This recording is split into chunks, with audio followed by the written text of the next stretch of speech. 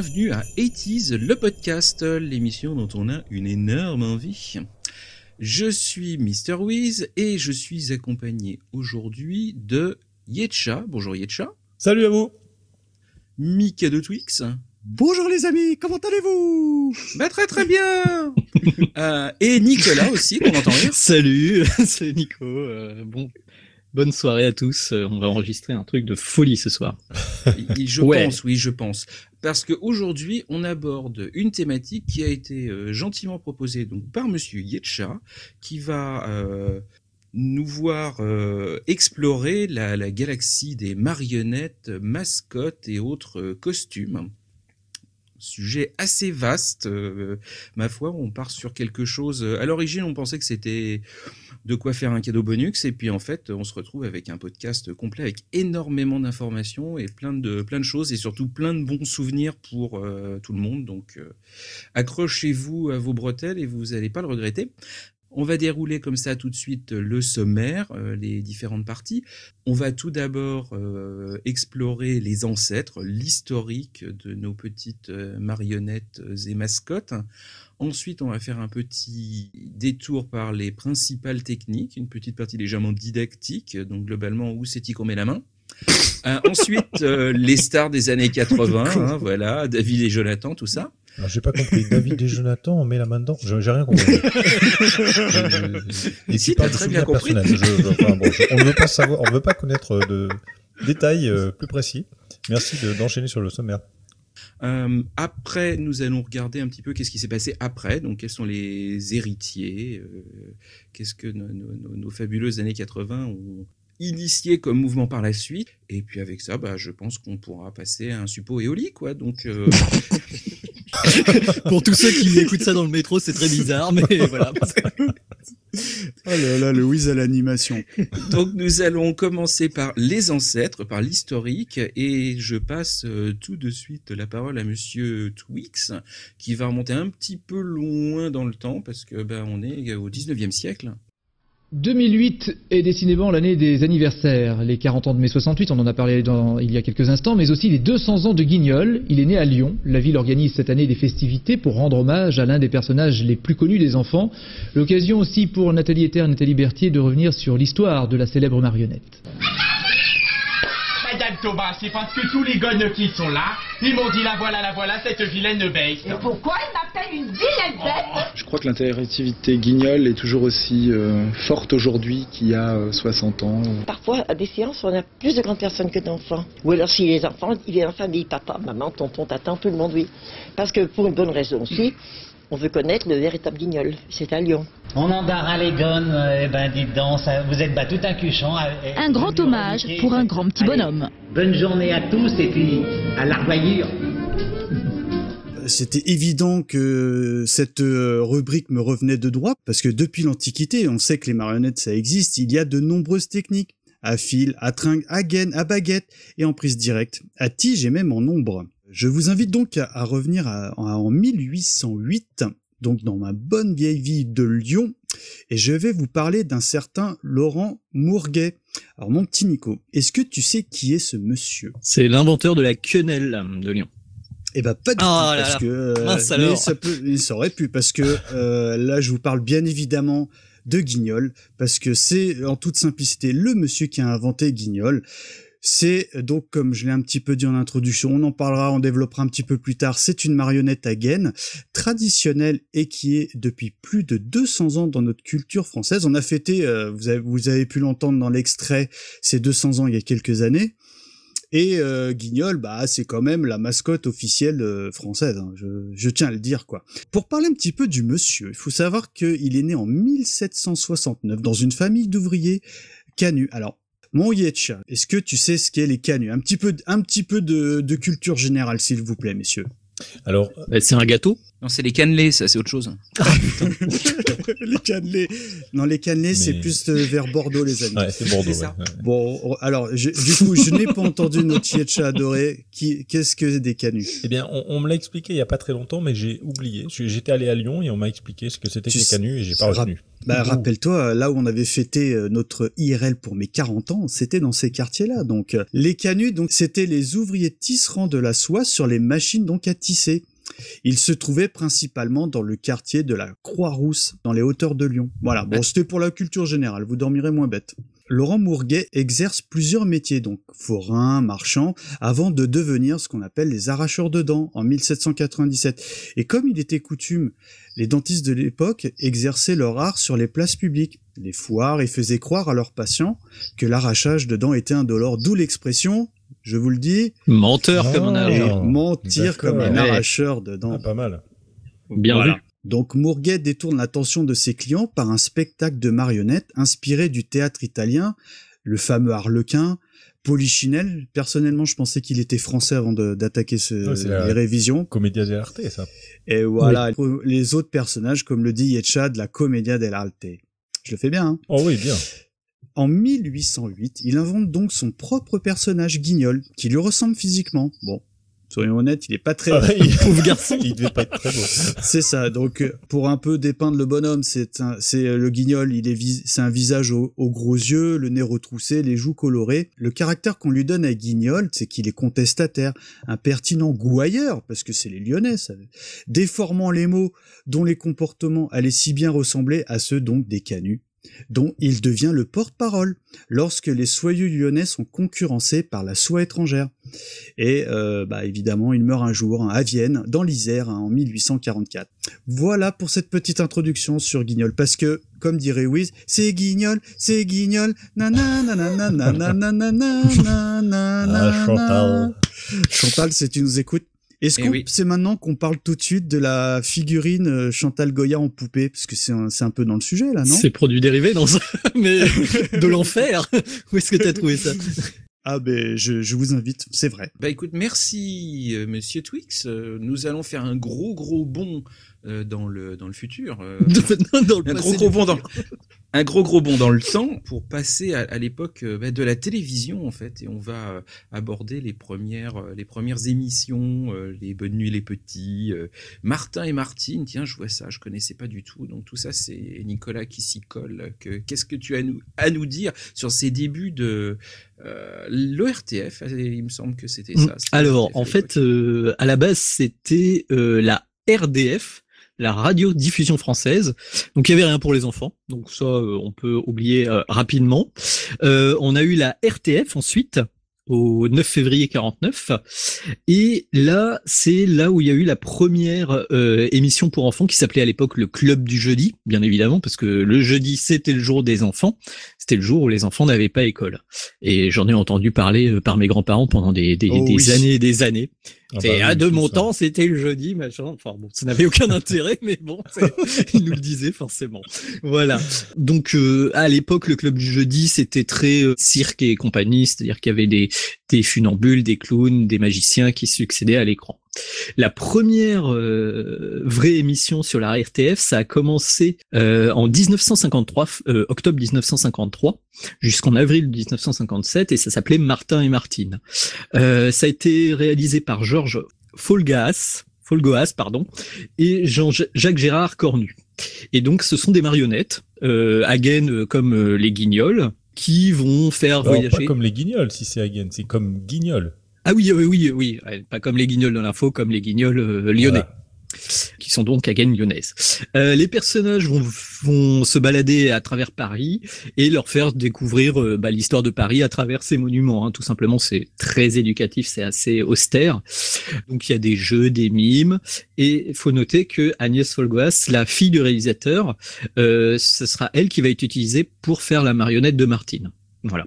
Donc ça c'est la première émission euh, télévision euh, avec des marionnettes pour les enfants. J'imagine que personne l'a vu Hein, parmi euh, vous quatre, vous trois. Euh, non, bah, images, mais en rediff. quoi. Voilà, exactement.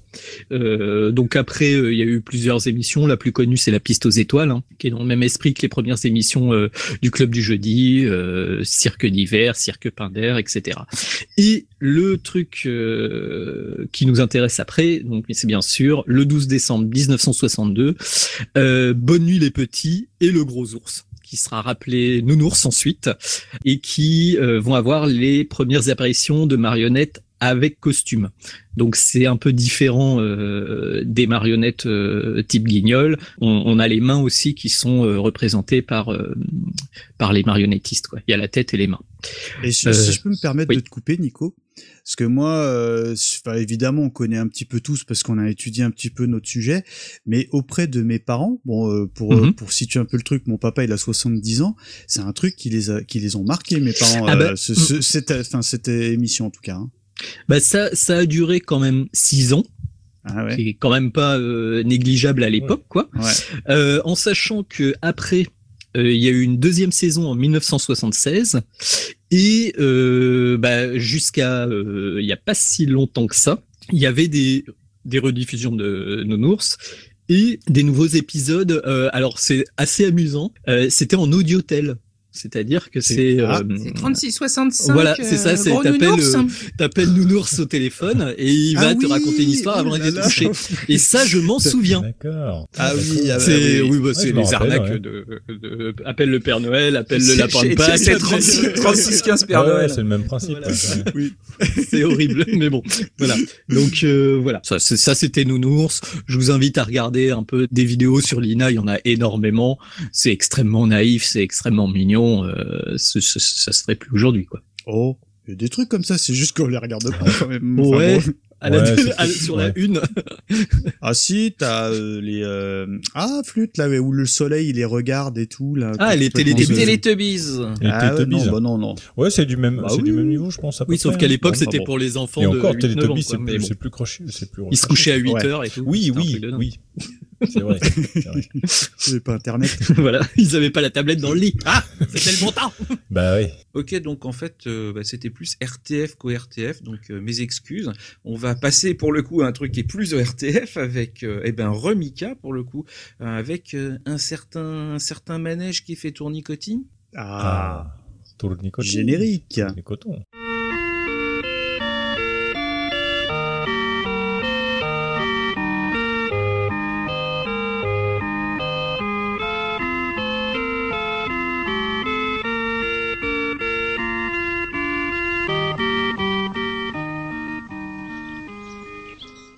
Ah, le manège enchanté. Bah, moi, j'aime beaucoup ce truc parce que, bah, je regardais ça tout petit, petit, petit parce que je- il y a eu quand même mille et une diffusions Oui. parce que c'est quand même un programme jeunesse, hein, mais euh, de haute qualité, hein, parce que je trouve que visuellement, c'est des choses qui vieillissent plutôt bien parce qu'on parle quand même d'une technique d'animation image par image. Aujourd'hui, on appelle ça plus simplement du stop motion. Et c'est à savoir un programme qui date de, de quand même de octobre 1964, le 5 pour être plus précis. Et puis après, ça a été diffusé en 1974 et enfin euh, en 1982, puis en 89 et une version de synthèse qui est sortie en 2006. Je reviendrai un petit peu après. Alors, le créateur de cette œuvre, c'est un certain Serge Dano, qui est né en 1931 et qui est disparu en 1990. Il utilisait la technique d'image par image. Tous les personnages de ces films d'animation, comme certains éléments euh, de décor étaient carrément même déplacés à la main, ce qui explique pourquoi l'équipe à l'époque n'arrivait qu'à produire 5 à 30 secondes seulement par jour. La vache, oui. C'est quand même assez Mm, mm, colossal fait, pour ouais. l'époque. Parce que je- vous invite vraiment, bon, évidemment, vous n'êtes pas obligé de vous faire l'intégrale des 32 saisons, mais pour un truc d'époque, euh, enfin, c'est de Mhm. haute qualité. Donc, on connaît tous le manège enchanté, hein, c'est clair. Par ses multiples diffusions, il met en scène, en parlant un peu des personnages, il met en scène le manège du père Pivoine. Ah oui, d'accord, oui. On le voit jamais, le Et père ben Pivoine. voilà, c'est ce que je me suis dit. que, Ah oui. euh, euh, là, je vais évidemment vous parler de la petite Margot, de Zébulon, Mhm. le personnage monté sur ressort. Et quelle est sa formule magique, euh, Nico? Tournicoti, tournicoton. Eh, mais tu le tiens bien, tu le fais mieux qu'Alice Moon, hein, je tiens à te le dire. hein. Et ils sont tous au pays du Bois Joli. On y retrouve euh, bah, ses amis et la star des stars, un certain Pollux, avec son avec, et euh, bon après dans les personnages un peu plus son- secondaires il y a Azalée la vache Ambroise l'escargot je m'en souvenais pas Ah avant- si, ouais, avant moi je m'en souvenais, ouais. Ah si. Bah, pour les plus emblématiques. J'aimerais qu'on s'attarde quelques secondes sur Pollux parce que je trouve que c'est un chien qui a une grande classe parce que déjà, bon, esthétiquement, je l'ai déjà dit, c'est que c'est vraiment réussi pour un programme d'époque. Et Pollux, il a une particularité, ça, ça va plaire à notre Nicolas Simpson Jones, c'est qu'il a un accent anglais et qui vient, et ça, c'est pas anodin, c'est quelque chose que j'ai appris grâce aux fiches que Yetcha m'a envoyées. qu'il a, qui est tout simplement parce que son créateur, c'est un Britannique, un certain Ivor Wood. Et euh, bah, peut-être pour lui rendre hommage, ils ont, ils ont décidé, sans autre explication, de lui euh, greffer un accent anglais. Mais on a peut-être une explication parce que il faut savoir que dans la version française des années 60, chaque personnage a un accent typique d'une Mhm. des principales régions linguistiques de la France. Ah ouais? Ouais. je rappelle Alors j'imagine même pas le gars du Nord. euh, Oh alors, euh, Pollux, oh, oh, oh, oh. Toutes- Toutes mes excuses évidemment. Alors il faut savoir que euh, bon, il y a eu quand même une série euh, animée que je trouve beaucoup moins bien parce que euh, là on passe au tout au tout euh, numérique. euh, qui est euh, de 2005, mais, en- mais entre les deux, il y a eu une- un film qui est sorti en 2005 que j'avais énormément aimé. Je me souviens quand mon, bah mon, pour vous raconter ma life, euh, mon grand est né en 2005 et euh, bah j'avais acheté le DVD et c'est un dessin animé. Je sais pas pourquoi, tu sais, les mômes ça peut voir euh, 200 fois le- la même œuvre Oui, sans, ouais. sans, sans sourciller. Et quand on a préparé sur euh, ce, ce numéro, bah ce, ce souvenir m'est revenu instantanément en tête parce que je le connais par cœur parce qu'il a dû le voir euh, une centaine de fois. J'exagère. Pas, trop quoi, il a dû le voir 98 fois. Et pourquoi il est bien? Parce que bah déjà au niveau de l'animation, c'est le haut du panier. Et là, ils avaient à cœur de mettre, bon, vous savez qu'on est à Etis de podcast, on aime bien les vrais comédiens de doublage, mais là, ils ont mis des acteurs. Bon, quelques, ils ont pas mis des youtubeurs ou des choses euh, malheureusement qui, avec tout le respect que j'ai pour les youtubeurs, on troll gentiment, mais malheureusement euh, les fouteux c'est des fouteux et et les comédiens c'est des comédiens, voilà. Et on a Eddie Mitchell qui fait la voix d'un lapin qui est un personnage inédit dans le l'animé. Et là, où rien que pour ça, je valide à mort, c'est Pollux, c'est Feu Henri Salvador qui le Ah, double excellent, dans, ouais. dans la version euh, film. Ce euh, Il y a et Galabru la- aussi, hein. Ah bah, bah, si vous voulez, Ah je oui. vous fais le truc. Euh, la vache, c'est euh, le mercier. Ah, L'escargot, super. c'est Ah ouais. Danny Boone qui fait très très bien, le, qui assure Ah bah, très, il, très et en plus, il a l'accent du Nord, donc ça tient. Ah oui. Bah voilà. Non, mais tout à l'heure, c'est un hommage. Tout, J'espère que vous ce, avez- tout ce- le puzzle se reconstruit. J'en garde pas un souvenir euh, intact de l'animation de Manège Enchanté, mais je trouve dans ce qu'on a préparé, c'est quand même pour euh, des, je vous rappelle, hein, on est dans 1964, que c'est vraiment de très haute voltige. Mm, mm. Le stop motion, je fais un petit aparté, je vous raconte ma life, c'est, euh, un- une, une technique d'animation d'image que j'a- j'affectionne à mort, parce que bah moi, je, comme vous le savez, chers auditeurs, avec Nicolas, on en avait fait une émission, j'adore les Lego. Hein, oui, Nico tout à fait, ouais. et Ouais. avec euh, Junior, eh ben, on aime bien faire des petits films en stop motion. Ah, voilà. Donc ça n'a, et voilà. Donc on avait envie de, le... j'avais envie de le parler. Et euh, donc regardez le manège enchanté, c'est vachement.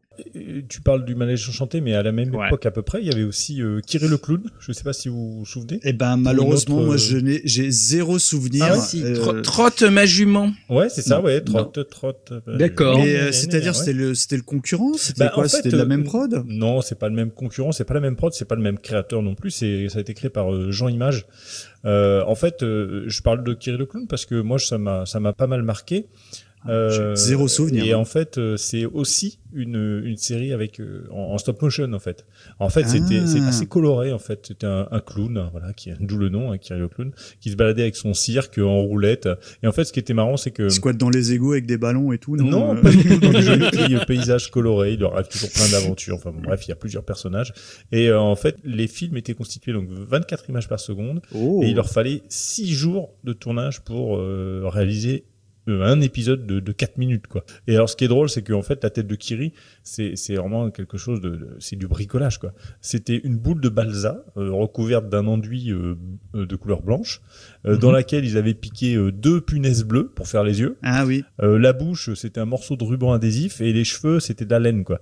Donc c'est vraiment. euh, Allez, on envoie là. Allez hop. Je trouve ça drôle parce que, comme on voit le, le- le bricolage, quoi, euh, vraiment Et ça hyper fonctionne ou pas Parce que ça fon- mais oui, euh, par rapport au manège enchanté, euh, on est, ça fait plus de l'amateurisme de ce que tu décris. Non, non, non, non, non, franchement, ça fonctionne bien et euh, les histoires sont sympas. Alors c'est toujours un peu moralisateur à la fin, machin. Toi t'es vilain, toi t'es pas gen- toi t'es gentil, il faut faire comme il faut Oui, faire enfin, comme ça. mais je rappelle bon. qu'on s'adresse à un public euh, jeunesse. Voilà, hein, e- euh, exactement. hein. Donc non, non, ça fonctionne hyper bien. Il y a eu beaucoup de, de bandes dessinées aussi qui ont été faites après. Ça, il y a eu pas mal de produits dérivés. du tout, quoi. Ouais. Nico, tu connais, toi? Bah moi en regardant les images, c'est vrai que ça m'a fait vraiment penser au, au livre de bricolage qu'on avait euh, Ah oui.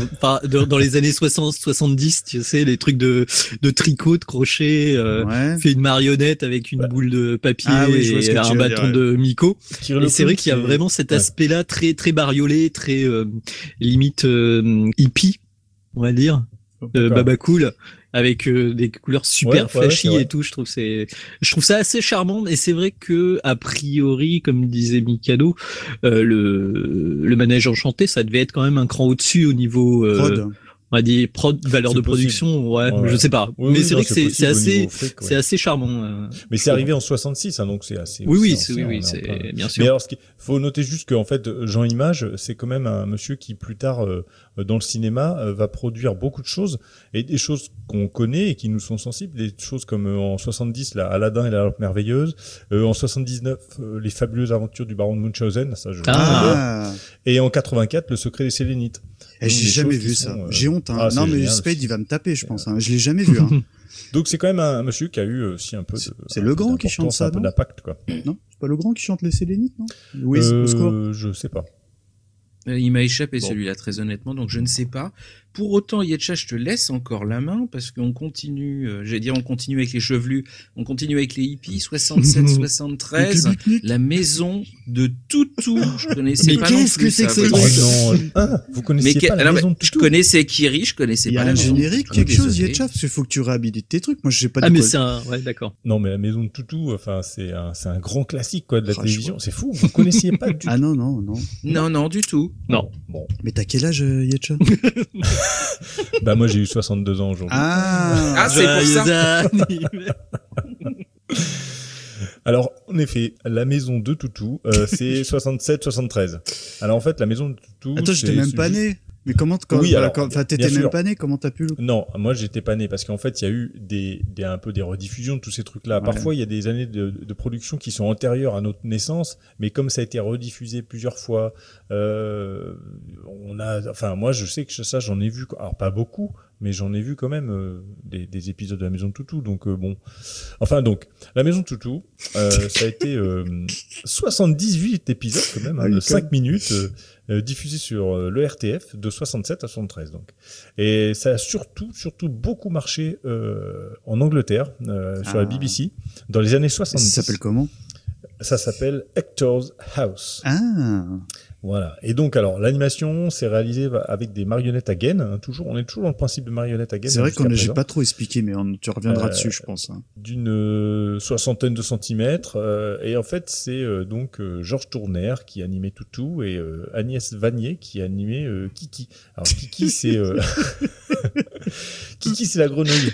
Parce qu'en fait, Toutou le chien et Zouzou la chatte vivent, vivent dans une jolie maison entourée d'un jardin fleuri. Et Kiki la grenouille, leur voisine, passe le plus clair de son temps à les regarder par-dessus le mur qui sépare les deux propriétés. Et alors, Kiki et Zouzou jouent des tours à Toutou Oh. afin de lui enseigner une leçon. Et alors, à chaque épisode, Toutou conclut par la phrase « Je suis un bon gros toutou ». Alors après, il y a toujours des épithètes. Après « Je suis un bon gros toutou », serviable. Euh, je suis un bon gros toutou, courageux, travailleur, etc. Il y a Attends, eu il, se- il fait, il se 60 fait moquer et à chaque fois, Oui. il d'accord. oui, parce bon. que ça fait une petite, euh, voilà, bon, ils se foutent de sa gueule et puis après ils lui, ils lui apprennent un truc, tu vois. Mais donc, ce qui est important, les ce qui est chiens, drôle, c'est rien que des il y a eu, il y a eu 78 Ah, quand même, hein, oui. épithètes utilisées, soit un par épisode. Ah oui, D'accord. Donc ça c'est c'est marrant. Et alors les personnages en fait représentent les créateurs. Euh, Georges Grosse c'était Toutou, Régine euh, Artari euh, c'était Kiki et Zouzou était en fait la chatte euh, dont la voix était celle de attention vous connaissez tous de Lucie Dollen alors ça vous connaissez pas qui a donné sa voix aux Blanche Neige de Disney. Hein Donc voilà, c'est quand même une femme qui était dans le dans le doublage. euh, donc euh, voilà. Et alors, ce qui est rigolo, quand même, une petite anecdote, c'est que le succès en Grande-Bretagne a été tellement euh, important qu'en 2002, la Banque royale d'Écosse a réalisé un spot publicitaire de 30 secondes pour un service bancaire en reproduisant fidèlement la, donc, la Hector's House et ses habitants. Ah en ouais. 2002, donc c'est quand même hein. euh, quelque chose qui a, qui a marqué. quoi. Mais il y a un truc qui m'a échappé, c'est une prod française. Ah oui, oui, c'est Ah tout- oui, Alors oui, ça, c'est archi, archi français. hein. Donc c'est juste que ça a pris Ça chez nous, mais ça a en cartonné Angleterre. en Angleterre. D'accord. Voilà, exactement. Il, il avait sa maison et puis maintenant tout à sa banque. Donc, Voilà, c'est un peu ça. Et qu'est-ce que tu penses de son action euh, euh, du militantisme contre l'apartheid euh, et qui lui a valu quand même un prix Nobel de la paix? Pauvre toutou. Je suis pas sûr. Je suis un bon gros toutou euh, serviable. ça. Alors tu les as tous ou pas les épithètes, non? T'as les 70 Non, je les ai pas tous. Pour le cadeau bonus, c'est tout. Moi, j'ai regardé un épisode avant l'enregistrement et c'était Je suis un bon gros toutou ridicule. Ah, Ah. bah peut-être, ouais. D'accord. Ouais, en fait, il se fait, il se fait, ouais, aujourd'hui, c'est har- harcèlement, harcèlement le toutou, euh, the movie, quoi, non Tu vas tuer. tu- Ah là là. Alors, toujours chez les chevelus, euh, tu continues avec d'autres euh, d'autres choses pour le Ah, coup. là, des de toute façon, quand c'est même les années plus, hein. 70, ils se disent tous comme ça. Ah, il y a que des pique-niques. Non, non, mais là, là, on, a, on aborde des, des sujets que logiquement tout le monde doit quand même connaître parce qu'il y a Ah du oui. Colargol, il y a du Aglaé Sidonie. Euh, bon, voilà, ça Ah, je c'est m'en souviens un petit pas de peu ça. plus. euh, Oh, c'est fou. ça passait ça. Ouais, ouais, c'est des choses qui passaient. Alors, on a parlé, en effet, euh, Wiz, euh, de d'Aglaé et Sidonie. Là, c'est 67-73 pour la série originale, mais ça a été euh, rediffusé plusieurs fois dans Croque Vacances, euh, donc dès Ah. 82, et en 85 euh, sur TF1. Et là, les auditeurs, ils ont tous le générique dans Ah la bah tête, oui, hein, oui. direct. Et hein. puis, même sur Canal J dans le milieu des années 90. Donc, c'est quand même un truc euh, fin des années 60, début 70. Hein. Ça a été rediffusé sur Canal J dans les années 90. Donc, c'est quand même, euh, voilà. Alors, donc, euh, bah, les Synodie, hein, vous connaissez un petit peu euh, l'histoire d'une noix, d'un renard, d'une truie. euh. Alors, l'animation est toujours, ouais, c'est toujours rigolo, truie. l'animation est toujours réalisée en image par image. Mais alors, ce qui est marrant, c'est que pour les gros plans, ils utilisent des marionnettes à Et, Ah. euh, et la grande innovation d'Aglaé et Sidonie, pour la première fois, les gueules, les becs, etc. des personnages sont articulés et synchronisés avec la bande son. Wow. Donc ça c'est un déjà c'est un on a il y a eu une avancée au niveau de la de la technique quoi. On n'est plus dans les boules de balsa et les cheveux en laine de Kirill Mm. clown quoi. On a on a évolué euh, à une étape euh, supérieure. Alors pour continuer encore ça très connu les aventures de Colargol, on connaît tous la chanson de Ah, Mireille moi, je veux que qui tu est- mettes le générique, euh. Eh ben Oui, alors euh, qui chante enfin en sol. Ah ouais. Magneto Wiz. Ah, Ben oui, Magneto. Ben, C'était Mireille qui chantait la Exact. chanson, ce- la, la Mireille du petit conservatoire. Mhm.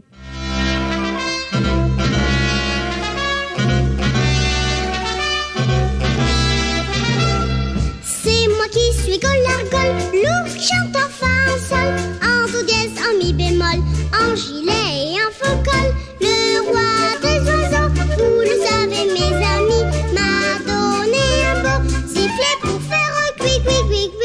qui, qui, qui. Qui, c'est moi qui suis collard comme parce fa, chante en face.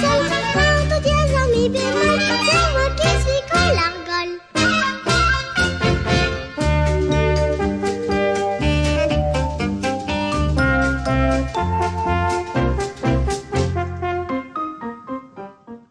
Ah non, mais non, mais non, non, Eh non. ouais. ça va aller. Oh, non, mais je la connais Non, pas. stop, alors. stop. Mais alors c'est marrant parce que cette chanson en fait est, est antérieure hein, à la Ah bon? à la série. Ah oui, bien sûr. Et pourquoi nous a marqué chanson- alors Yetcha, là Vends-nous le Oui, truc. là. alors alors que la série a été diffusée entre 70 et 74 sur la deuxième chaîne de l'ERTF, euh, mais le personnage date euh, des années 50. Et alors cette série de, de Colargol animée a été créée par attention Albert Barillet. Ah, Albert qui lui-même, le père des Il était une fois, Mmh. tout Exactement. simplement. Hein, euh, donc c'est quand même euh, voilà, ce- il a commencé là-dessus. J'ai découvert en cherchant un petit peu, les, en faisant des recherches. Ah, je savais pas, tu podcast. Et alors c'est c'est drôle parce que euh, en 69, euh, il a financé lui-même la série parce que l'ORTF avait refusé. Et il confia la réalisation à un animateur polonais dont je ne prononcerai pas le nom parce que là vraiment euh, je vais pas réussir. De fait, euh, voilà, ça, ça, ça a fonctionné, ça a eu un impact très fort et tout le monde se souvient de Colargol et notamment par la fameuse chanson de, de Mireille, euh, le petit ourson qui chante enfin en sol. Euh, Le succès a été phénoménal hein, du disque. Et puis Alors, les classes aussi, enfin, 61. tu sais, d'un point de vue Ah oui, euh, oui. design, Hmm. euh, Collar Gold, il passe bien les années, quoi. Enfin, bon, il a ouais, la non, coupe, vrai il a la coupe un- Mireille Mathieu, mais, euh, mais euh, Il a un look pas mal. Il a un look qui passe encore les, enfin, je Ah, trouve qu'il, enfin, qui passe bien, quoi. Il y a eu euh, une opérette qui a été faite pour euh, pour les enfants. Euh, Il y a une série qui, la série a donc été euh, exportée avec succès dans de nombreux pays, etc. C'est vraiment une série qui a marqué. euh, qui a marqué son époque, hein, donc Ouais, on, on peut le dire. non, C'est pour ça que dire, je voulais ouais. le citer. Et alors là, on va arriver à un truc quand même important que tout le monde connaît là pour le coup. Personne ne peut avoir oublié ça. C'est. Chapi Chapeau. Aïe, aïe, aïe. Et là, on est obligé de mettre quelques petites notes du non, générique. non, quand on même. avait dit qu'on n'en parlait plus. hein. On en parlait plus Pourquoi Chapi Chapeau Allez, vas-y, Oh, bon, allez. Ah, un petit coup quand même. Allez, pour le plaisir. Chapi chapeau, patapo, chapeau chapi, patapi, piripipi, rabada, dada. Pacha pacho, pipipo, pacho pacha, pipipa,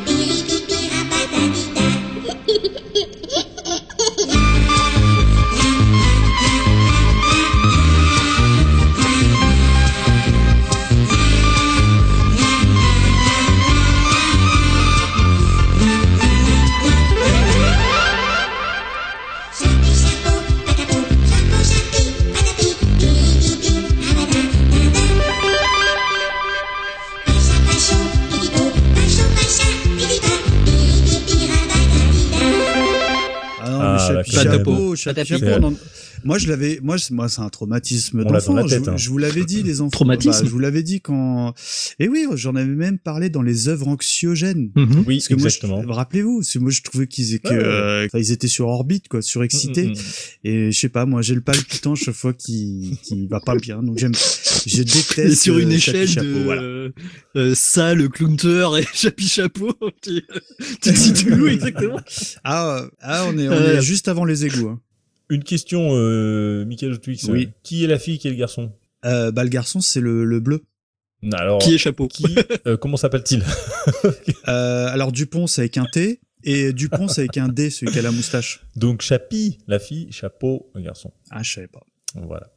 Et alors, surtout ce qui est fa- fabuleux dans ce générique, c'est que c'est une musique euh, de François de Roubaix, un célèbre compositeur de musique de film essentiellement euh, et de séries. Il a fait Les Grandes Gueules, Le Samouraï, Les Talons, bien. Le Vieux Fusil.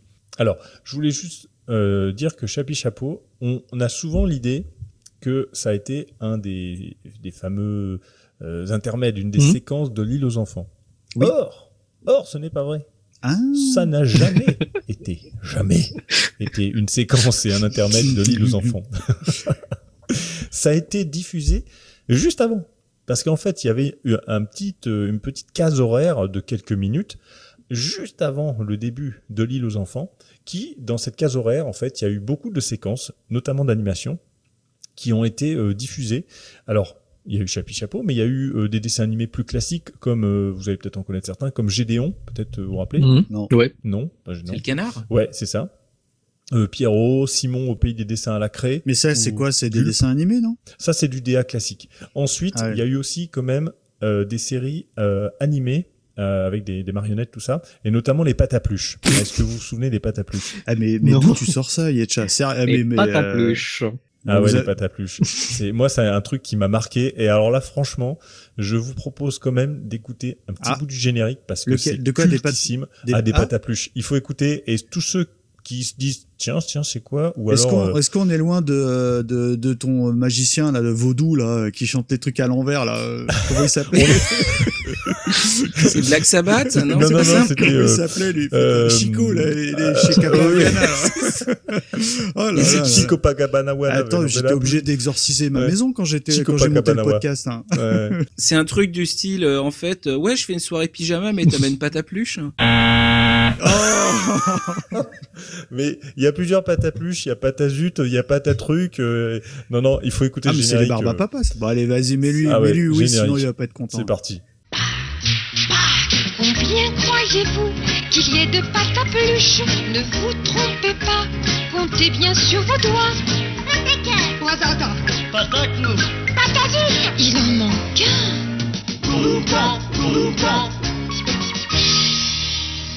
Combien croyez-vous Ah oui, Il y a de patapluche. ah non, mais moi je kiffe cette chanson. Et alors, j'ai- franchement, quand j'ai rebossé un peu le truc, euh, bah là, ça fait ça fait quelques temps. euh, je l'ai depuis trois jours, je l'ai dans la tête quoi. C'est un truc de Ah malade. bah, cette, mais euh, jamais entendu parler Yetcha. Mais je doute, d'où tu sais- En fait, tes parents, ils t'ont mis pendant 15 ans devant la télé. quoi. Bah écoute, quand je Hein quand je repense à tout ça, je me dis j'ai dû être devant la télé tôt. Alors j'ai attention, j'ai une sœur, une grande sœur qui a trois Ah oui. ans de plus que moi. Alors c'est pas beaucoup, mais moi aussi, mais moi j'étais j'étais nourri à. Flash à Flashdance, tu vois, Mais, mais pas Patapluche. Ah ouais non, nous, bah nous c'était Patapluche. Et donc euh, Patapluche. Alors je voulais en parler quand même parce que non seulement ben, pour moi ça me rappelle vraiment de gros souvenirs les Patapluches. Ah ouais. Et ensuite, en fait, cette animation, c'était donc c'était des, des marionnettes euh, animalières. Alors il y a Patatruc, Patazut, vous avez entendu dans le générique, qui étaient animées avec des fils de nylon. Elle faisait 70 mètres de haut. Et en fait, 70 mètres animation- Euh, soix- La vache Ouais, C'était terrifiant quand il. Ah ouais, putain, c'était des. Godzilla et tout. Vous, a- vous aviez tout compris, c'est donc 70 cm de haut, pardon. Autant pour moi, lapsus. Non, mais c'est tellement, pour moi, c'est tellement grand que voilà, je les ai, je les ai- Allez, non, mais dans les yeux d'enfants de petits Yetcha, Voilà, ça faisait exactement. 70 mètres, soyons. Voilà. Donc, euh, bien sûr, 70 cm de haut. Et alors, euh, cette animation avait été confiée à la famille 2X. Alors, D-E-H-I-X, hein, c'est un orthographe particulière. Est-ce que vous savez qui est cette famille 2X Bah, euh... J'ai peur de dire une connerie. D'accord. C'est pas non plus les, les frères de 2Y. Hein. euh, non, non. Alors, cette famille. cette famille de X. Non, non, mais c'est un, c'est un- intéressant. cette information. C'est les cousins de la Marc. Dorcel, non, c'est pas ça. Oui, Ah. Je me suis retenu de le dire. Non, ça c'est 3X. C'est 3X. Ah bah non. Euh, Donc, cette famille de X, en fait, le Jean, Jean de X, donc il était ingénieur et en en 52, il a tout plaqué pour se lancer dans les marionnettes. Et il est parti vivre sur les routes avec sa femme Florence et leur fils Jean-Claude. Non mais c'est important. Michael Twix arrête de rigoler. Parce que vous allez voir où je vais en venir. Aujourd'hui, en fait, ce fameux Jean-Claude, lui-même, avec sa femme et leurs propres enfants, c'est eux. Toujours sur les routes. Non, alors ils sont pas toujours sur les routes. combattre le crime. Ils conçoivent toutes les vitrines du boulevard Haussmann à Paris. Ah, Ah, d'accord, ok. ah, Ah, respect. ah, non, ah, non, c'est bon. ah, Ah, je m'incline. Non, j'ai Et plus envie donc, de rire. En fait, euh, donc ils utilisaient des fils de nylon à l'époque. Et à Paris, ils utilisent Mhm. toujours des fils de nylon avec Ah, des c'est petits classe, moteurs. hein. hein, vous avez Ouais. tous vu ça, Ah je ouais, pense. ouais, ouais. Et en fait, la famille de X a été une pionnière parce qu'elle a été la première à remplacer euh, sur ces vitrines là euh, la main du, du marionnettiste par des moteurs de leur conception. Euh, donc c'est c'est une famille qui encore aujourd'hui joue un rôle très important euh, dans l'animation de, de marionnettes, de pantins, de, de pantomimes, tout ce que vous voulez euh, aujourd'hui. Et on, on voit leur vitrine euh, sans savoir que c'est eux, mais euh, c'est eux qui sont depuis, euh, je sais plus, ça fait presque 50 ans qu'ils sont derrière ces, ces vitrines. Donc c'est quand même une famille importante et qui a commencé euh, par la télé. Donc voilà, aussi, ils ont créé aussi une autre, euh, comment dire, euh, série qui s'appelle, alors on n'en rigole pas, Renfeuille et course en sac. Avec euh, alors Renfeuille, elle avait des mouvements au niveau des yeux et de la bouche, ce qui donnait avec un petit moteur justement, qui donnait encore plus de vie à la marionnette. Et donc dans ces séquences pré-île aux enfants, il y avait aussi la récup allemande des années 60 avec euh, Philopathe et Patafil, je sais pas si vous, ça vous dit quelque chose. C'est du stop motion en, fil de fer et liège, enfin ça devait venir d'Allemagne de l'Est hein, parce que c'est un peu euh, cheap. hein. Euh, et puis il y a eu aussi le manège enchanté et donc le célèbre Chapi Chapeau dont, dont on vient de parler. Donc on rigole, on rigole, mais il y a eu des choses très intéressantes qui ont été diffusées juste avant l'île aux enfants. Enfin, quand t'étais en manque de LSD, t'avais pas besoin, il suffisait d'allumer la télé, quoi. Voilà, exactement. et je pense que j'ai assez parlé, alors je vais me taire, d'accord, promis, euh, juré. Ok, donc nous allons passer à la dernière, à la dernière partie de cette première partie. On reste toujours sur l'historique, et là pour le coup, ben, on passe sur un truc qui est euh, américain, il me semble. Euh, Eh c'est pas américain, c'est anglais? C'est anglais, Ah, monsieur. C'est anglais. Ah. D'accord. Enfin, j'aime pas de toute façon. Oh l'autre. Oh, Ah, ça- générique. Ça m'a toujours fait peur ce truc-là. Générique. Ah, c'est flippant. Ah non, on est d'accord. gé- Générique. Générique.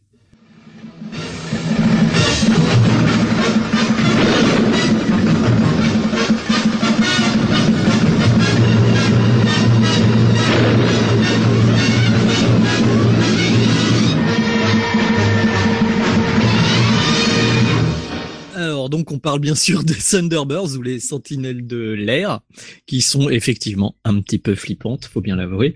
Dis pourquoi? Donc euh, dis pourquoi Bah euh, t'as déjà regardé? Ouais. À cause de leur bouche bizarre là. Moi J'avais l'impression de voir du James Bond, moi, Ouais. en animé. Quoi. Alors en fait, Enfin, eff- oui, effectivement, là, comme tu, tu le dis, c'était un peu la série euh, animée, destinée Ouais. plutôt aux ados, on va dire. Euh, c'était pas vraiment une émission pour enfants comme euh, tous ces trucs de peluche, euh, d'ours, de machin. Là, c'était vraiment euh, des histoires euh, bah, d'espionnage, euh, un groupe de défenseurs euh, de l'humanité contre euh, des sortes de super James Bond avec des super véhicules. Ouais, avec les voix de, tu sais, le, le doublage français à la James Bond dans les voix. Oui, quoi. tout à Enfin, fait. moi, Bah, il y avait un esprit marqué, hein. euh, très euh, James Bond années années Ah ouais. 60, un peu pop, Ah, un peu fun, fun, fun, Ouais. funk. Docteur No, quoi. Mm, tout à fait, ouais. Alors du coup, euh, donc c'était utilisé avec une technique euh, de marionnette à fil, hein, donc comme euh, euh, ce dont vient de nous parler Yetcha, euh, sauf que c'était de la super marionation, donc ça n'a rien à voir avec le dernier épisode de Super Mario. C'était donc des, des marionnettes à fil avec beaucoup plus de, de, de comment on appelle ça de, de points d'articulation. C'est-à-dire que les yeux bougeaient, les, les paupières pouvaient se fermer, les, les bouches s'ouvraient aussi. Euh, donc ça a été produit entre 1965 et 1966 en Grande-Bretagne, mais ça a été di- diffusé beaucoup plus tard en fait, euh, en plus de dix ans plus tard, euh, sur Antenne 2. Et donc euh, les créateurs de cette série, c'est le couple Anderson, Jerry et Sylvia. Et Jerry Anderson, c'est donc lui qui a inventé cette technique d'animation, euh, la Super Mario Nation, en sachant qu'il s'est quand même vraiment très inspiré de techniques existantes en réalité. Euh, en sachant que après cette série euh, a été revue à la télé dans une série des années 80. Est-ce que quelqu'un a une idée quelle série ça peut être? Ah ouais, moi je sais. Toi je tu sais, sais. Moi aussi, Ah ouais. ouais.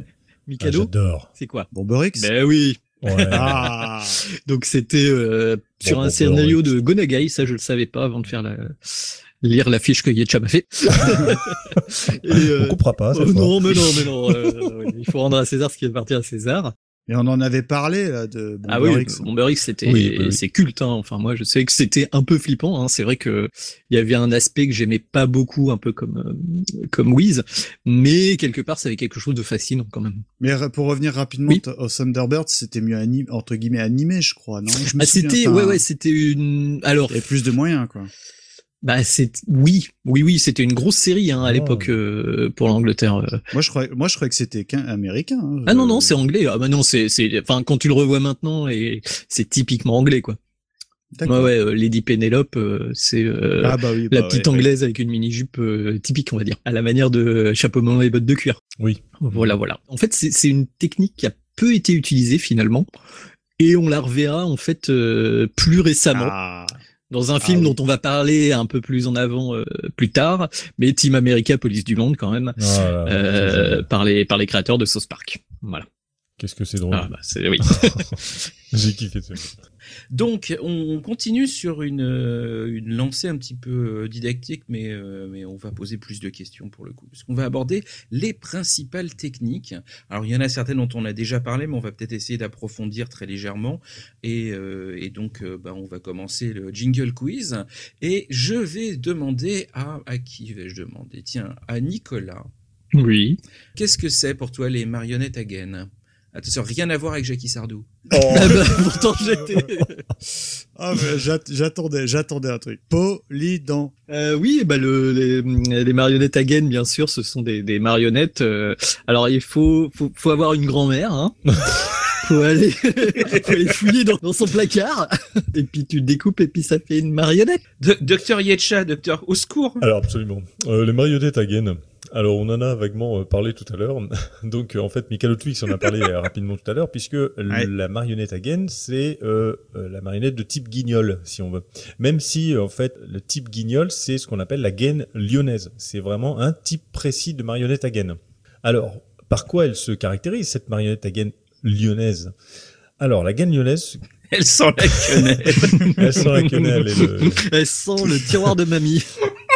Alors on y est presque, parce que en fait, dans la manipulation de la tête, Donc la manipulation de la tête se Mhm. fait. Alors vous pouvez le faire en même temps, hein, euh, cher auditeur, et puis vous aussi, euh, chers camarades euh, euh, de plateau, de, de la team.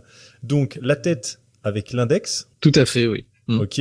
Les deux bras par le pouce d'un côté et le reste des doigts de l'autre. Vous imaginez Ok, bien. oui, oui, hein, ouais. Vous voyez bien. Voilà. Le poignet du manipulateur correspond Guignol, aux hanches. en toute simplicité. Ah mais attends, justement, c'est plus compliqué que ça. Donc le, ma- le, le poignet du manipulateur correspond aux hanches de l'effigie et euh, son coude euh, au pied. Donc les genoux et le sexe peuvent être figurés par une seconde main placée entre la gaine et la jupe du personnage. Mhm. les coquins. voilà. D'accord, c'est autrement appelé la brouette de la Croix-Rousse. Donc voilà. Alors, un autre type de marionnette à gaine, c'est la marionnette à gaine russe. Donc, Ah. reprenez vos, votre petite mimine, Mhm. Ouais. la tête manipulée par l'index et le majeur ensemble. D'accord. Ok Donc déjà une différence. Et le bras par le pouce d'une part et l'annulaire et l'auriculaire de l'autre. Donc il y a très peu de changements par rapport à la gaine lyonnaise. Oui, Hein, vous bah, voyez que juste euh, l'index. Juste un doigt. Sur le- l'index. Juste un vous voulez pas un côté savoir Star Trek en oui, fait. tout hein. à fait, ouais. Oui, un petit peu. Oui, oui, c'est vrai. Exactement. Exactement. Longue vie et prospérité. Tu vois, ça prouve que je le fais en même temps. Voilà. Alors, marionnette à gaine chinoise. La tête index. Ok. Les bras par le pouce et le majeur. Et les autres doigts sont repliés. D'accord. Ok Ah, tu m'as perdu. Trois bières. Alors, donc, l'index pour la tête, un bras par le pouce et l'autre bras par le majeur. Ok. Et les deux autres doigts qui restent, l'auriculaire et l'annulaire, sont repliés, en fait. Ça Ah, fait ok, trois doigts, quoi. Ouais, Tu vois, tu ouais, ouais, c'est bon, ça, je le tiens. Et donc, la, euh, les mains du personnage sont souvent articulées et peuvent être aussi manipulées par un petit mécanisme interne à la gaine. Et les pieds sont situés au niveau du poignet. Donc, c'est des marionnettes qui sont globalement aussi plus petites. Bah oui. C'est, voilà. Ah oui.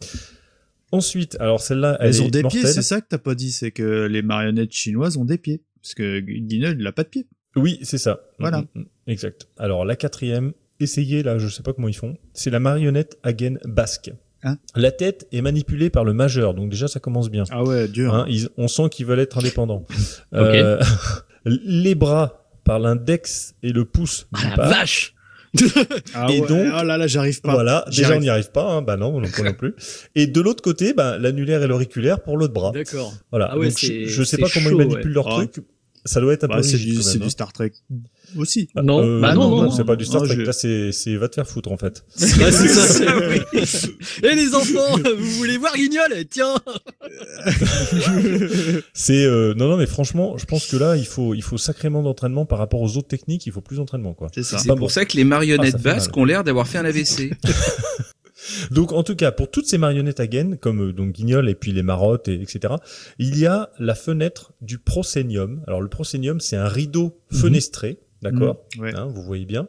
Du castelet. Alors, le castelet, c'est le nom du théâtre des marionnettes.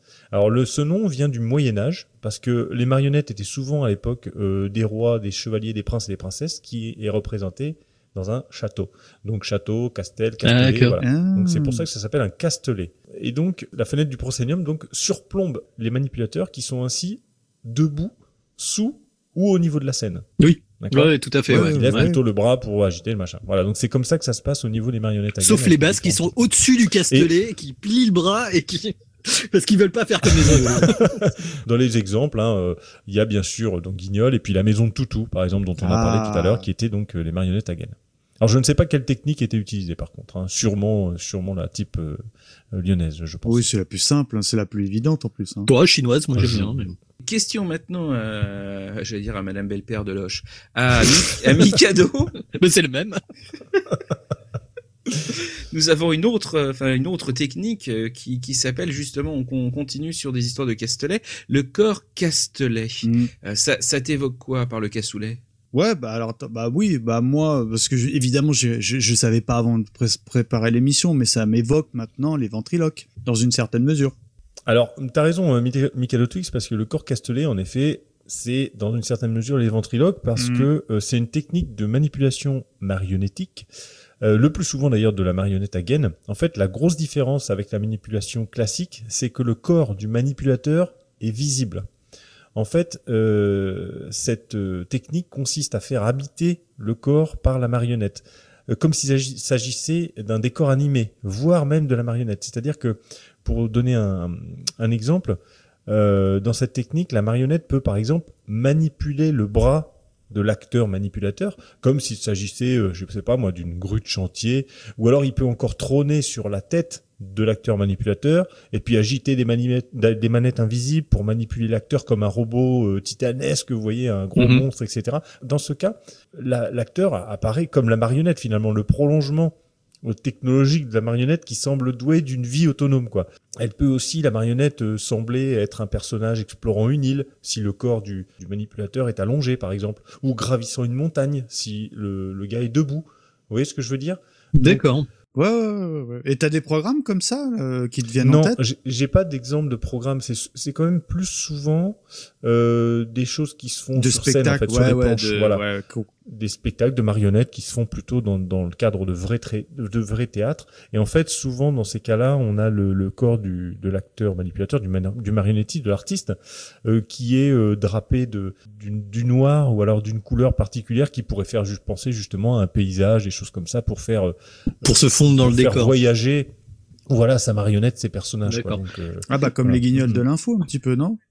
Oui. Ah non, c'est pas les guignols. Si, de dans les guignols de l'info, quand t'avais une... euh, euh, Si. tu, tu sais, t'avais Poivre d'Arvor qui parlait et t'avais une fenêtre noire Ouais, exactement. avec les que. Ah, et oui, tu voyais oui. des fois vaguement les mecs euh, derrière en train de bouger. Oui, mais alors, Ouais. mais ça c'est Oui. différent. C'est différent parce que là, le corps des manipulateurs euh, n'était pas utilisé par les marionnettes. Oui, oui, je vois ce que tu veux Bah, dire. ils Ouais, peuvent tout à pas- fait. Ils peuvent pas dire un, un guignol va pas monter sur l'épaule du manipulateur pour faire comme si c'était un escargot qui montait sur la tête de quelqu'un. Enfin voilà. Ah oui, oui, c'est oui, c'est oui. juste qu'ils étaient autre chose, masqués ouais. parce qu'ils étaient en noir pour les masquer. Ouais, quoi. tout à fait, ouais. Vous voyez, si ça avait été un trucage numérique, ils les auraient effacés en fait. Oui, voyez oui, oui. D'accord, Voilà. ok, parce que je pensais par exemple à la comédie musicale Avenue Q, qui est une espèce Ah, de, version un peu trash Mhm. de, du Muppet Show. Ah oui, tout à Et fait. en oui. fait, Oui, oui. les animateurs, en fait, on les voit. Donc ils ont la, ils ont la marionnette qui manipule, mais en fait, on voit complètement, ils sont même pas en noir. Ah en oui, oui, machin. oui, Enfin, oui. Ils font complètement partie du, du décor. Du c'est un décor, peu ouais. le même principe que les guignols quand même, quoi. Ah oui. Sauf qu'ils sont pas en noir, donc euh, c'est hors sujet. Mais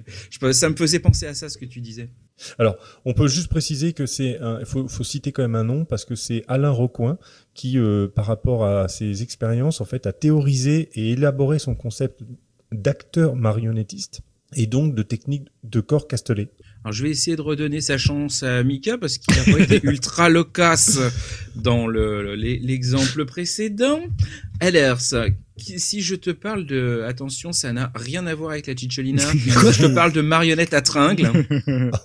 Oh. Euh, ah bah moi je pense tout de suite aux marionnettes euh, articulées, c'est-à-dire euh, où le- le- les tiges partent des mains jusqu'au bah au manipulateur, je sais pas comment tu dois dire Yetcha, qui permettent beaucoup plus de mouvement par rapport à un guignol par exemple. Alors C'est oui. pas mal là, non je- Ouais, ouais, non, c'est c'est pas mal, c'est pas mal. T'as C'est bien- beau, c'est beau. T'as que- bien vu. Bon. Alors en effet, le- les marionnettes euh, à fil, en fait, sont héritières des marionnettes à tringles et qui sont appelées aussi euh, pantins ou fantoches, Mhm. hein, c'est synonyme. Euh, et le castelet, donc toujours le théâtre des marionnettes, hein, est, est généralement composé euh, au fond d'une estrade surélevée où se placent les marionnettistes s'appuyant sur une barre d'appui qui surplombe Mhm. la scène, donc qui se mettent au-dessus. Un élément, euh, le plus souvent en bois, une- ce qu'on appelle une croix d'attelle. Ah non mais je pensais pas à ça, moi je me Ah bon, trompe ça? En fait, je pensais vraiment où, euh, par exemple, tu vas avoir, je sais pas, un, un diplodocus, un truc comme ça, ou je te dis ânerie, mais tu peux avoir, par exemple, un bonhomme sur le bras qui va tenir une tige et un autre sur euh, bah, une autre tige, tu sais, pour vraiment euh, dissocier les mouvements. Je pensais pas du tout à la croix. Ah oui, euh, C'est un non, autre ça, truc un, encore. C'est un petit peu différent. C'est le même après, ça principe, fait ouais. Un peu partie de la même. euh, voilà, c'est un Oui, peu le parce même que là, principe, sauf là, que- ce que t'évoques, tu les, euh, ouais, les, euh, les Pinocchio, les trucs comme ça, tu sais là. Oui, voilà, c'est Voilà. ça, c'est ça. Avec donc la, la, la croix d'attelle au contrôle Ah qui est au-dessus, ouais. Ah, j'adore ça. qui réunit. Ah ouais, ça peut, ça peut être très très très très beau. Hein. Il y a des, des artistes qui sont Ouais. vraiment incroyables. Donc en fait, ce, cette croix d'attelle au contrôle qui réunit les fils qui sont reliés aux différentes parties de la marionnette. Alors la technique, c'est marrant parce que la technique de fixation des fils entre le contrôle et la marionnette est nommée l'en-secret. Hein, L apostrophe E N S E C R E T. D'accord. L'en-secret. Et dans les théâtres de marionnettes, les croix sont souvent recouvertes à chaque fin de représentation afin de préserver la confidentialité euh, Mhm. de la configuration des, des fils. Quoi. Euh, les marionnettistes, parfois aussi, refusent de traverser les plateaux des confrères si les croix de contrôle ne sont pas couvertes, afin de ne pas trahir le secret. Il est d'usage de dire qu'un marionnettiste à fil en secrète sa marionnette. Et dès qu'il vend ou qu'il donne sa marionnette, il peut la désensecréter pour éviter de relever le secret d'assemblage. Eh bien, merci, docteur Cornelius, qui va garder encore la parole pour le coup et aborder, on va dire, le. Mais, mais non, mais non, t'as pas oublié. On t'a Ah pas non, On aborde le gros, le gros sujet. Eh, laissez-moi parler. Quoi Laissez-moi parler, les enfants. Non, pardon. Non. Sur les rentre à ta place. hein. Je, je suis trompé d'émission. Non, on, a, on aborde le gros, le, le gros sujet de, de l'émission quand même, parce que bah, euh, ils teasent le podcast quand même, les enfants. Donc, euh, les stars des années 80, et donc c'est toujours Yetcha qui s'y colle. Et là, bon, euh, donc on le fait un petit peu chronologique pour le coup, et on commence très légèrement euh, dans les années 70 avec, euh, avec, Ouais. avec, avec. L'île aux enfants. Ah.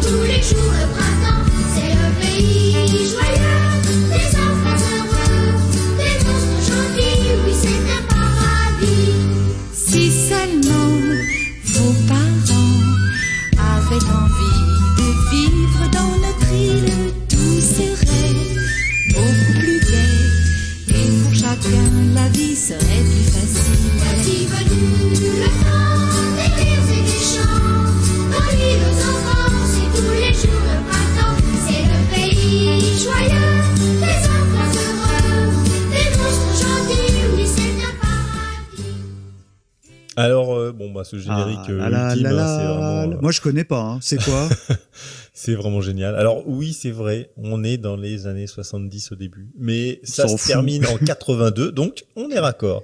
Et puis, honnêtement, qui ne connaît pas l'île aux enfants, quoi? Même en Moi. ayant, euh, en, en étant né vraiment fin 70, hein, je dis, on connaît, quoi. C'est obligé, obligé, obligé. Donc, euh, alors, pour introduire la création de, de l'île aux enfants, il faut remonter en 1972 en fait, où la création euh, d'une émission à la Sesame Street, donc euh, une émission états-unienne, euh, est abordée en France. En fait, c'est une émission de Jim Henson, créée par Jim Henson. Il refuse, Jim Henson, de prêter ses marionnettes si elles ne sont pas manipulées par ses propres marionnettistes. Déjà du protectionnisme états-unien à l'époque. hein. Donc Yves Brunier, qui euh, est Casimir himself hein, quand même, propose alors au producteur de contacter Denis Dugas. Alors retenez ce nom parce qu'on en parlera longuement, euh, enfin un peu plus Mm. longuement tout à l'heure. Et ils ont réalisé un pilote en 72 Mm. avec un tout jeune Gérard Lenormand. Oui. Avec une marionnette. Il est pas euh, beau, hein. ouais. Ah bah oui, bon. Avec une grande marionnette donc de 2,40 m de haut, vert foncé avec des points rouges nommé Plocus, un dinosaure de la famille des Diplodocus. Alors le pilote, c'est marrant parce que le pilote a été validé par les États-Unis et présenté aux représentants de l'éducation nationale puisque le programme se destine aux plus jeunes. Cependant, on est donc en 72, le clash de mai 68 n'est pas très loin. Et l'idée qu'une émission quasi états-unienne à destination des enfants à la télévision française euh, fait pas très propre. Donc le truc est refusé, clairement. Donc c'est un peu plus tard que Christophe Isard, en 74, va créer l'émission qui s'appelle Bonjour Sésame. Euh, c'est le début de l'âge d'or hein, des programmes pour, euh, pour enfants à la télé. C'est un peu la naissance des enfants de la télé, quoi, de, de nous, quoi, finalement. Alors elle doit durer 20 minutes, elle alterne avec des scènes de marionnettes en mousse sculptée et des scènes de personnages réels. Alors ils ont 13 minutes de Sesame Street. Alors c'est étonnant parce que après le refus de 1972, euh, parce que c'était trop trop états-unien le truc qu'ils avaient adapté, ils acceptent quand même en 74 de prendre 13 minutes de l'émission directement états-unienne. C'est un peu curieux mais bon, voilà, ils ont accepté. Donc ils ont 13 minutes de Sesame Street. Ils ont un documentaire animalier de 4 minutes. Et Christophe Isard doit trouver donc une idée pour combler les 4 minutes restantes. Alors entouré d'une équipe de personnes, dont Yves Brunier, je le rappelle Casimir, il crée la séquence de l'île aux enfants avec le personnage de Casimir. Ah. Voilà. Et à partir. Je connais. Euh, du 6 janvier 1975, Bonjour Sésame laisse sa place à L'île aux enfants, du, devenue une émission à part entière. Donc 1975, je le répète, très grande année. Euh... et de 75 à 76, donc des séquences de l'émission états-unienne vont euh, un ou deux modules de l'émission, mais qui vont finalement euh, disparaître au, au, fur et à mesure. Euh, L'autre module était celui de, de l'univers de Casimir, et donc à partir de la rentrée 76, il y aura plus de séquences de Sesame Street, ce sera 100% des productions françaises pour former Oui, un programme ouais. complet de 20 minutes. Ouais, c'était assez court, hein, finalement, 20 minutes, c'est assez court. Euh, donc 100% français, euh, voilà. En 77, alors c'est drôle parce qu'il y a un nouveau personnage qui apparaît, son cousin qui s'appelle Hippolyte. Eh oui, sauf Oh, pardon, que excusez-moi, j'ai le droit de jouer ou pas? Ah bien sûr, bien sûr, je posais la question. Et sauf que quand il est apparu la première fois, il est apparu en 76 donc sous l'appellation du cousin Albéric. Bon, voilà. Ah. Et après ils ont changé le nom, ça ça leur a pas plu, donc ils ont ils l'ont appelé après Hippolyte. Alors, Moi, j'aime bien Hippolyte. il y aura 968 épisodes. La vache Donc c'est C'est quand même énorme, quand même. hein. Ouais, c'est énorme.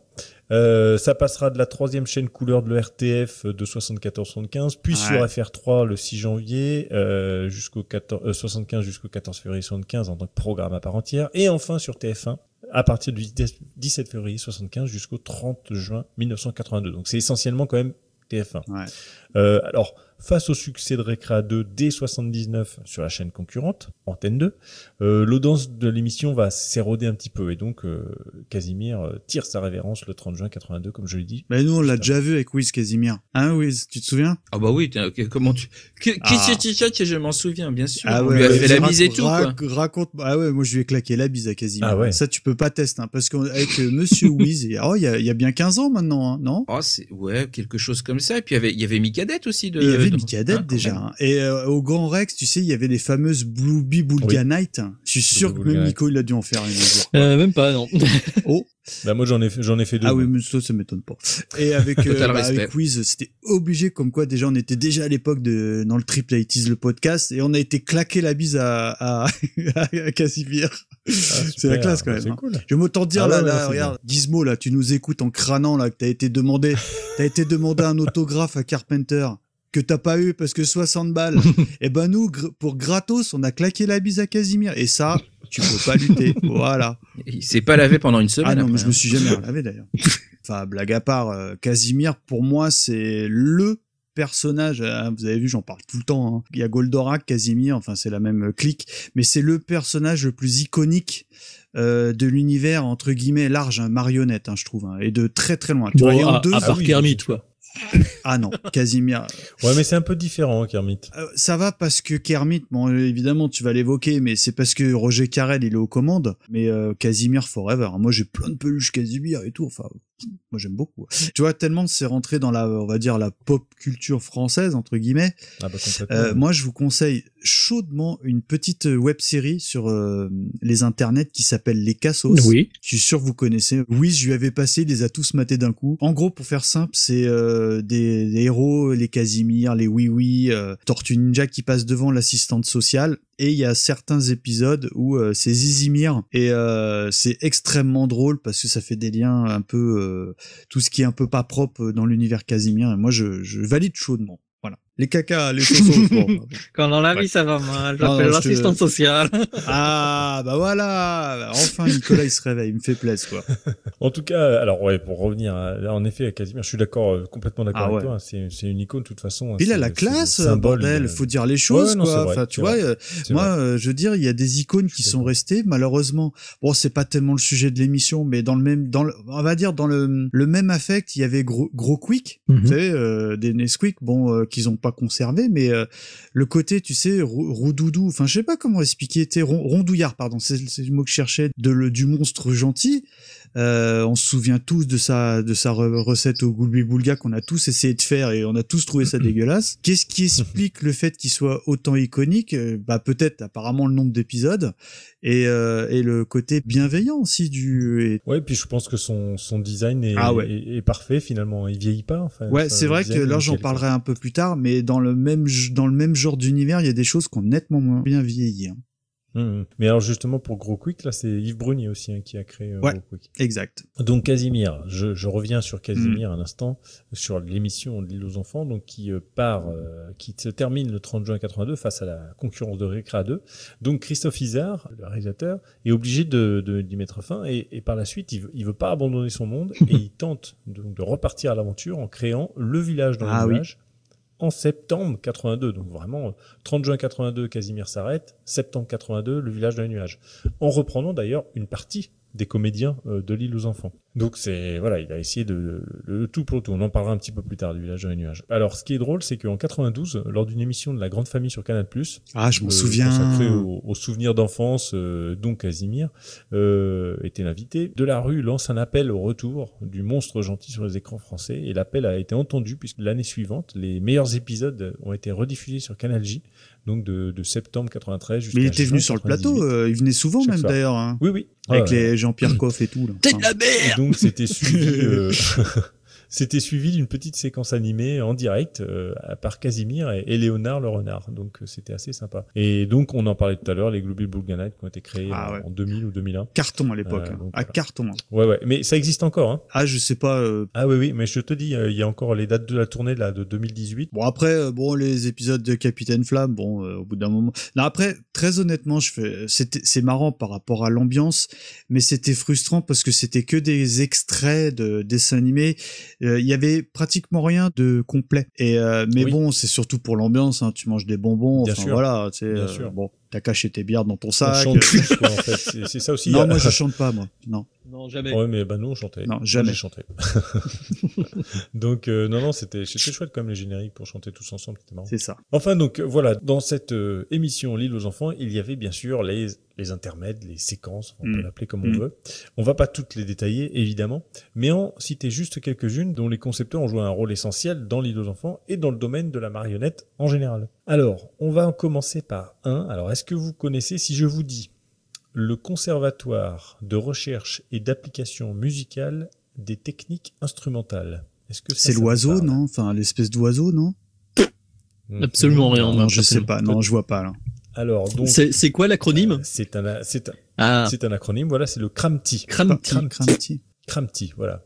Alors c'est en fait c'est des marionnettes de Boris Chegam et Jean Godement euh, avec à la réalisation Françoise Bettiol. En fait, Françoise Bettiol, c'est la femme de Italo Bettiol qui a été auteur de nombreuses séquences diffusées dans l'île aux enfants comme Albert et Barnabé, euh, Le jardinier Antoine, Le Canapouns, Trajectoire ou encore Les engrenages qui étaient diffusés dans Le village dans les nuages, puis dans La vie des bottes. Oh non. Le générique est de Gilles Slavin, qui nous a offert La Noiraude, et les musiques du dessin animé de Yakari.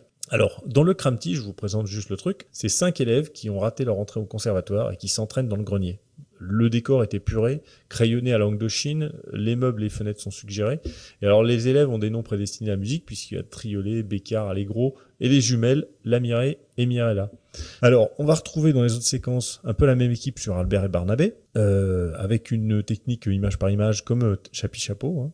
C'est euh, les créateurs euh, Stefano Lonati et Italo Bettiol, euh, qui vont créer aussi le Canapouns, une séquence en temps réel avec des marionnettes à manchon, dont seule la tête bouge et s'articule au niveau de la bouche grâce à la main gauche du marionnettiste, tandis que le bras droit est directement celui du marionnettiste qui manipule la tête et la bouche. Et quand on voit parfois un deuxième bras, c'est en fait euh, un second marionnettiste euh, qui arrive. Euh, On voit la différence d'ailleurs de, de coordination entre les deux mains. Donc c'est bon, c'est intéressant à regarder. C'est un petit peu le canapouns pour les techniques. Euh, alors, une séquence quand même dont il faut parler, c'est Gribouille. Euh, vous vous rappelez de Gribouille? Pas du tout. Oui, Un personnage jaune oui, oui, oui. qui se faisait un dessin, voilà, il y avait une voix off qui parlait, euh, qui lui demandait de dessiner quelque chose, et puis en fait il disait bah je comprends pas, je comprends pas. Donc en fait ça, ce personnage a été créé par Denis Dugas. Le comédien avait une technique vraiment particulière, parce que le comédien était placé derrière sa marionnette, un système fixé à l'aplomb de la tête de Gribouille et sur la tête du marionnettiste permettait de faire bouger les yeux de Gribouille quand le marionnettiste tournait sa tête. Et pour dessiner, en fait, Denis Dugas, placé derrière et un peu en hauteur, derrière un drap noir, mettait ses avant-bras dans les bras de Gribouille afin de dessiner. Donc du coup, il dessinait à l'envers. Et il jouait avec les lèvres pincées. Est-ce que vous, vous savez pourquoi il jouait avec les lèvres pincées? Non. Hmm. Vous vous souvenez du bruit du feutre? De Gribouille Bah moi déjà je m'en souviens pas. Mais je me donc, euh, souviens pas. Il y avait parfois des bruits. Ah. Ah, c'est le ballon, c'est le ballon. Non? Voilà, c'est un peu le bruit du ballon aussi. Voilà, ben un feutre en fait, un gros feutre qui racle un peu sur, qui crisse sur une feuille. En fait, c'est le le- l'animateur lui-même qui faisait ça avec les lèvres pincées. Et en fait, il a travaillé en compagnie de Louis Duro également, un ingénieur chimiste. Et ils ont utilisé de la mousse en polyuréthane rigide et molle qui va consolider en fait l'intérêt que Denis euh, Dugas porte à la chimie dans son travail. Et alors, avec la collaboration avec Isard et Brunier, ils vont Mhm. réussir à développer une méthode dite des fuseaux qui consiste à créer des sphères parfaites en vue de fabriquer des marionnettes sans passer par de la sculpture classique de blocs de mousse. Et c'est comme ça qu'il va créer jusqu'à 19 personnages commandés par Brunier avec cette technique de mousse collée en coque. Donc c'est vraiment une technique euh, euh, futuriste, on va dire en quelque Mhm. sorte, que ce gars-là va développer et qui va être utilisé de nombreuses fois euh, à la télévision dès les années 70, euh, dans Les Visiteurs du mercredi avec euh, Brock et Schnock, euh, dans L'île aux enfants après, euh, et, et il a donné naissance aussi à Isidore le lapin dans Croque Vacances, Ah. et qui aura Clémentine, sa copine, plus tard. Enfin voilà, donc euh, tout ça, euh, tout ce, ce mec Denis Dugas a créé tous ces personnages-là, et euh, c'est un mec vraiment important dans le milieu de la marionnette euh, à la télévision française. Quoi. Ok, ok. Alors, avant de passer euh, la main à Monsieur Twix pour la suite, moi j'en ajouterai une autre de séquence avec une marionnette euh, peluche euh, slash whatever euh, tirée légèrement par les cheveux. Il y a la moustache de Pinky Poo. Ah bah oui. De quoi il parle?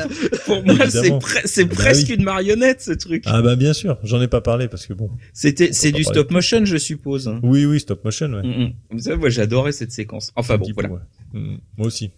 Euh, donc, euh, donc la main à Mikado Twix euh, Mm. qui va servir de sa main justement pour la mettre euh, Ah oui. ailleurs et en l'occurrence va aborder Tataye. Ah, taillé. Tu t'appelles comment Hein? T'as taillé comment? Taillé tout seul, Où est-ce que tu habites, taillé avec toi. Oui, d'accord, mais où est-ce que j'habite, moi? Je sais pas. Comment tu sais pas? Je suis toujours dans une caisse quand tu rentres à la maison. Dis-moi, t'as taillé. Tu vas à l'école? Pourquoi? Je sais pas. Mais Qu'est-ce que tu fais alors toute la journée? Rien, Rien du tout? Rien du tout. Tu t'embêtes pas? Non, ça va. T'as taillé. Quoi?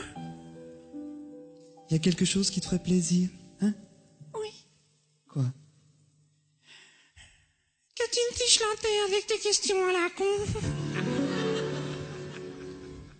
Déjà, est-ce que vous vous souvenez de Tataye, les amis? Bah oui, oui, bien sûr. Je me souviens plus du tout de comment s'appelait le ventriloque qui allait Eh avec. ben, je vais en parler, mais bon, en, en même temps, on s'en fout un peu parce que Tataye, c'était Ouais, on s'en fout. quoi. Ouais, exactement. Le ventriloque, c'était une pièce rapportée, quoi.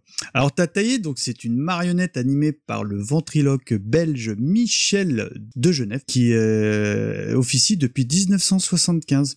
Les sketchs se font tous sous la forme d'un dialogue entre le marionnettiste et sa marionnette. Alors, à l'époque, euh, de Genève avait monté une petite compagnie de théâtre et colportait euh, ses spectacles dans les orphelinats et les maisons de retraite. Alors, la rumeur voudrait que Tataillé soit né à partir d'un col de fourrure que lui avait donné un pensionnaire d'une maison de retraite. D'accord. Euh, évidemment, euh, Tataillé n'était pas euh, bah, sa première marionnette, mais elle est rapidement devenue sa, marionnette fétiche parce que c'est vrai que bah si déjà Tataillé on s'en souvient, euh, le, le, ma- le ventriloque on s'en souvient moins. Bah alors ce Ah si, avec la moustache, Oui oui non mais ce qui était euh, au-delà de Tataillé, s'en souvient pas du Et tout. d'ailleurs, euh, j'ai une question. Je sais pas s'il y a une Mhm. réponse. C'est quoi comme animal tataillé? Euh, Parce que c'est pas un ours. Tataillé, hum, je sais pas un raton laveur. Ben non, il a pas. une espèce de gros Non, pif bah, et tout. C'est c'est c'est étrange. hein. moi je moi j'aurais dit un genre d'ours, mais les gars, je sais pas. Ouais. Non, c'est un Pokémon parce que euh, c'est un tataillé en fait. Parce que euh, les extraits que j'ai vus, t'as des. Euh, ah, moi, j'ai adoré, c'est un, une sorte Inception où t'as un tataillé qui manipule un tataillé. Ah. Donc c'est un Pokémon. Voilà, voilà. Bon. T'en as d'autres des comme ça ou... bah non, mais c'était ma question. Donc en 1978, il, il monte, enfin pardon, il descend parce qu'il vient de Belgique à Paris pour euh, s'essayer au cabaret. Mhm. Il enregistrera même plusieurs 45 tours euh, avec le couple marionnette marionnettiste quoi. Et au cours des années 1980, la RTBF, donc la, la télévision belge, en a en outre diffusé le dimanche soir une émission très populaire euh, chez nos amis belges, à savoir le Tataillé Show. Alors moi personnellement, je connaissais pas du tout. Ça pas, ouais, ça pas franchi Moi, la frontière, ça. Non. Et euh, bon, malheureusement, si vous espériez un jour euh, le voir euh, encore sur scène, bah il est trop tard parce que bah en février 2017, Michel Degenef a annoncé sa retraite définitive. Alors rapidement, hein, pour parler de Tataillé, c'est vrai que je m'en souviens très bien. Après, j'ai pas un souvenir ému des sketchs parce que c'était plus les- le, le personnage qui passait souvent chez, euh, Chez Sébastien. Patrick Ouais. Sébastien, ouais, tu dans les émissions carnaval, les trucs comme ça. Et je vais être franc avec vous, je suis pas hyper fan de tout ce qui est ventriloque parce que j'aurais pu vous en citer d'autres. Malheureusement, j'ai oublié les noms, mais il y en avait un très connu qui avait une sorte de pingouin ou de manchot euh, en guise de marionnette. C'est Nestor le pingouin. Tout à fait. Merci, euh, merci Wiz. Y a pas de quoi. Tiens, Wiz, tiens, par rapport à Tataillé et à l'univers euh, des, des ventriloques, t'as un affect particulier, tu, ou comme moi, malheureusement, tu trouves que, bon, c'est, c'était un genre, quoi. Parce que bon, c'est vrai que c'était un ton un petit peu caustique qu'avait choisi, euh, des Genèves. À part le, va dire la petite Madeleine de Proust, regarder un Tataillé aujourd'hui, je me suis moins régalé qu'à regarder, bah, au hasard, euh, Casimir, par exemple. Moi j'aimais bien, enfin je trouvais ça, je trouvais ça drôle. Le côté, euh, le côté ventriloquie de toute façon, ça, ça, euh, ça avait un côté assez fascinant, je trouve pour moi.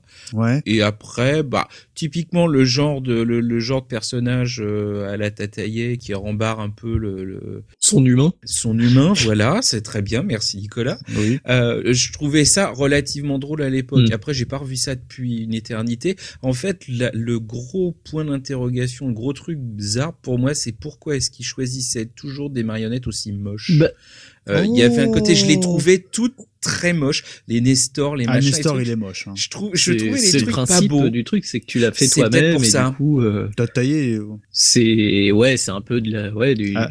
du do it yourself quoi. Ça, C'est ça, ça. ça, c'était un peu c'est le genre de vieille peluche euh, que, que tu ressors d'un vieux carton qui était à la cave, qui est pleine d'araignées. Enfin, il y avait un côté très, ouais, je- très bizarre, euh, Alors, visuellement en tout cas. très honnêtement, jusqu'à il y a quelques années, j'ai- j'étais persuadé que c'était un passé de Eh mode. ouais. Jusqu'au, on va dire, au début des années 2010. Je croyais que t'allais dire que 2013. t'étais persuadé qu'il parlait tout seul. Comment ça, il y a quelqu'un dans Casimir? Non. C'est vrai? Non, non. On m'aurait menti? Jusqu'à à peu près 2013 avec euh, bah, la- le qu'on appellera les l'héritier, hein, les héritiers, avec euh, Jeff Panalclock et sa peluche Jean-Marc que j'ai essayé de regarder parce que chers auditeurs, si vous avez du Netflix, et ben il y a un spectacle qui est dispo et j'ai pas tenu.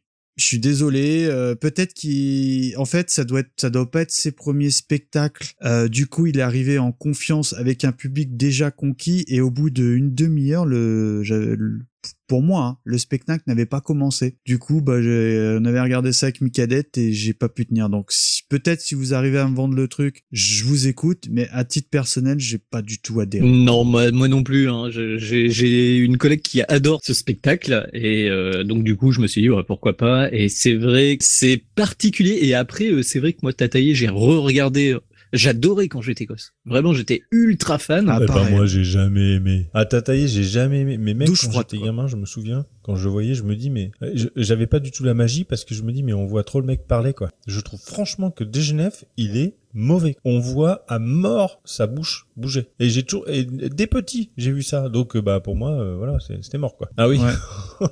Ah bah je t'invite à regarder Nestor. Là, le mec, il parle clairement. Quoi. Mhm. Enfin, Ça me gênait. Après c'est c'est pas vraiment ça qui est grave moi. C'est enfin l'illusion elle y est pas. Ah si, ah si, ça cache la, ça casse la magie. quoi. Ah moi je suis d'accord avec Yetcha, ça casse la magie. hein. non. Moi, j'ai j'ai vu, alors je me souviens plus vraiment, mais je sais que j'ai j'ai vu des ventriloques qui, bah, par exemple, tu pouvais regarder à leur visage, tu voyais rien bouger, quoi. Rien.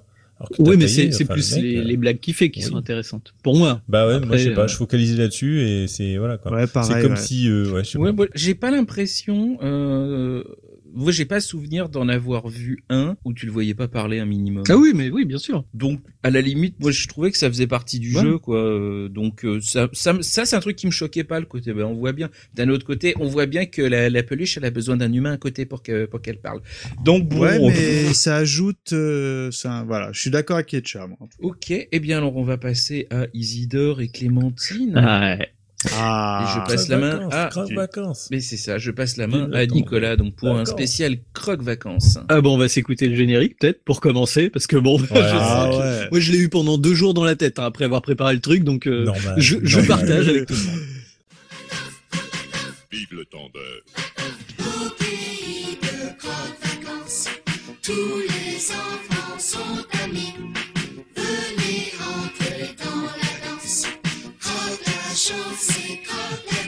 Regardez le soleil, mille étoiles, s'amusant liberté. Et la lune sur sa toile, disait la nuit.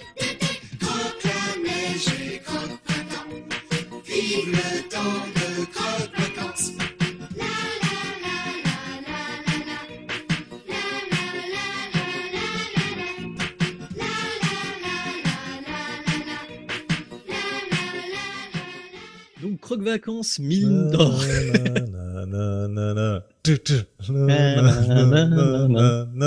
Ah, et pas mal, hein, Croque Vacances, euh, je peux te dire que voilà. Ah, on est dans le haut du panier en Euh, Verdorel, donc. Croque Vacances 1980-1987 avec euh, Isidore et Clémentine. Ah. Deux petits lapins très sympathiques et Arsinoé, le euh, hérisson sorti des bouches de l'enfer, hein, faut bien l'avouer. je vais, je vais y revenir un peu plus C'est tard. Hellraiser. Donc euh, en fait, c'est les, comme tu disais tout à l'heure, Yetcha, c'est une émission qui a succédé à Assilion et sa bande, euh, avec le même animateur qui s'appelait Claude Pirard, parce qu'il y avait deux euh, marionnettes, mais il y avait aussi un véritable animateur, euh, un homme euh, de chair et d'os. Moi, j'adorais ouais, et vraiment, Ah ouais. euh, j'ai des Ah souvenirs euh, assez vagues, Ouais. mais euh, j'adorais, euh, enfin, j'adorais cette émission, quoi. On voulait avoir un tonton comme Exactement. Et est-ce Ouais, que vous vous souvenez d'Alition et sa bande ou pas? Assilion et sa bande Assilion. Non. Moi, je j'en avais aucun souvenir avant de regarder euh, quelques vidéos. Et ce qui est très bizarre, en fait, c'est que c'est le même principe en fait que euh, Isidore et Clémentine, sauf que d'avoir, euh, au lieu d'avoir des marionnettes à l'écran, vous aviez en fait un personnage euh, dessiné, mais euh, limite pas très bien dessiné, et qui bougeait. Et Ah, du coup, ouais, c'était l'incrustation, un peu comme Denver euh, qu'on avait le samedi soir là, euh, Denver le dernier dinosaure, qui parlait avec une petite fille. Je sais pas si vous vous souvenez pendant Ah, pas du tout, ce que voilà.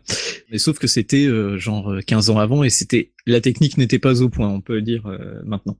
Donc là euh, bah, le principe euh, c'était euh, le même animateur avec des marionnettes. C'était une émission alors euh, maintenant ça pourrait paraître très bizarre mais elle était uniquement programmée pendant les vacances scolaires Ouais, parce que le Ouais. croque vacances, c'était le rendez-vous que t'attendais quand t'étais en vacances. Hein, le... Exactement. Ouais. Et donc il y avait des émissions donc euh, à chaque euh, vacances scolaires quoi. Mm.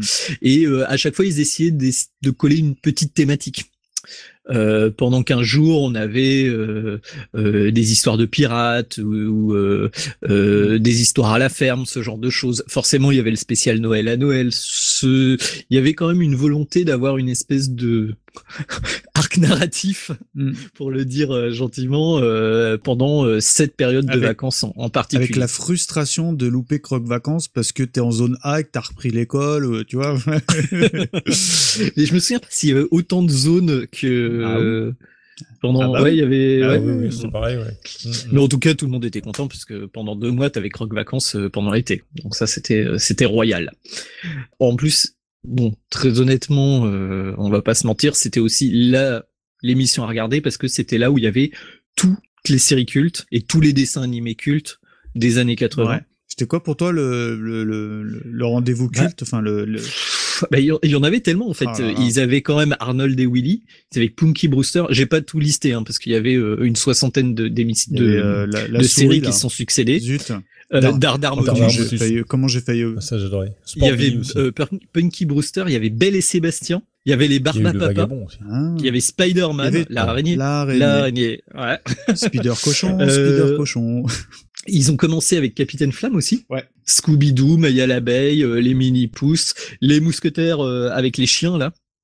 Moi j'aimais beaucoup. Ah oui, J'ai revu depuis. et tous pour Ouais. oh là là là. Non, non, non, non, Ouais, ouais. c'est ça. Et le favori total Ah. de la team, Tofsy et l'herbe magique. Ah. Euh, musicale. Ah, Ah oui. L'herbe musicale, musicale. euh. Il- Ah, on l'aime beaucoup. Ah oui. Il y avait aussi euh, des petites rubriques culinaires et surtout donc euh, le fameux magicien qui était avant avec euh, je sais plus comment elle s'appelait cette animatrice. Ah, c'est euh, Garci, Garcimore. pas Avec Denise Fabre. Ah oui, Ah, il a Garci- il y commencé avait Garcimore. Ah ouais. Décontracté, chu, chu, chu. Oui, On va parler du, du, du hérisson euh, Arsinoé. Et lui, il était là pour l'aide aux devoirs. Si c'est pas triste. Euh, en sachant qu'Arsinoé, en fait, c'était un, c'était pas une, une marionnette. C'était quelqu'un dans un costume. C'était une jeune femme. Voilà. Qui n'a jamais voulu révéler son identité. Ouais, c'est ça. Alors bon, c'est- l'anecdote Wikipédia qui, qui est trop drôle, quoi. Elle a voulu Exactement. garder l'anonymat. Donc si ça se trouve, c'est quelqu'un de très connu. On ne sait pas. La Wikipédia Ah, n'a pas la réponse. voilà, Personne n'a la réponse. C'est sur cette interrogation qu'on va prendre de la hauteur et grimper, et grimper dans les Ah. nuages pour euh, retrouver Paltok et Patanok avec euh, Mika pour le coup.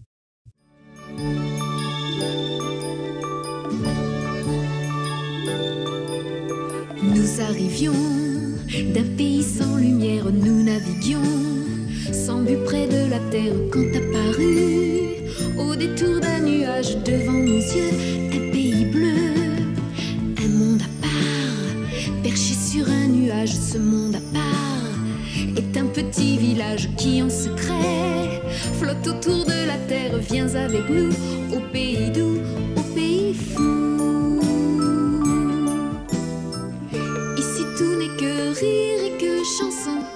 La joie s'est installée dans les maisons où nous t'attendons.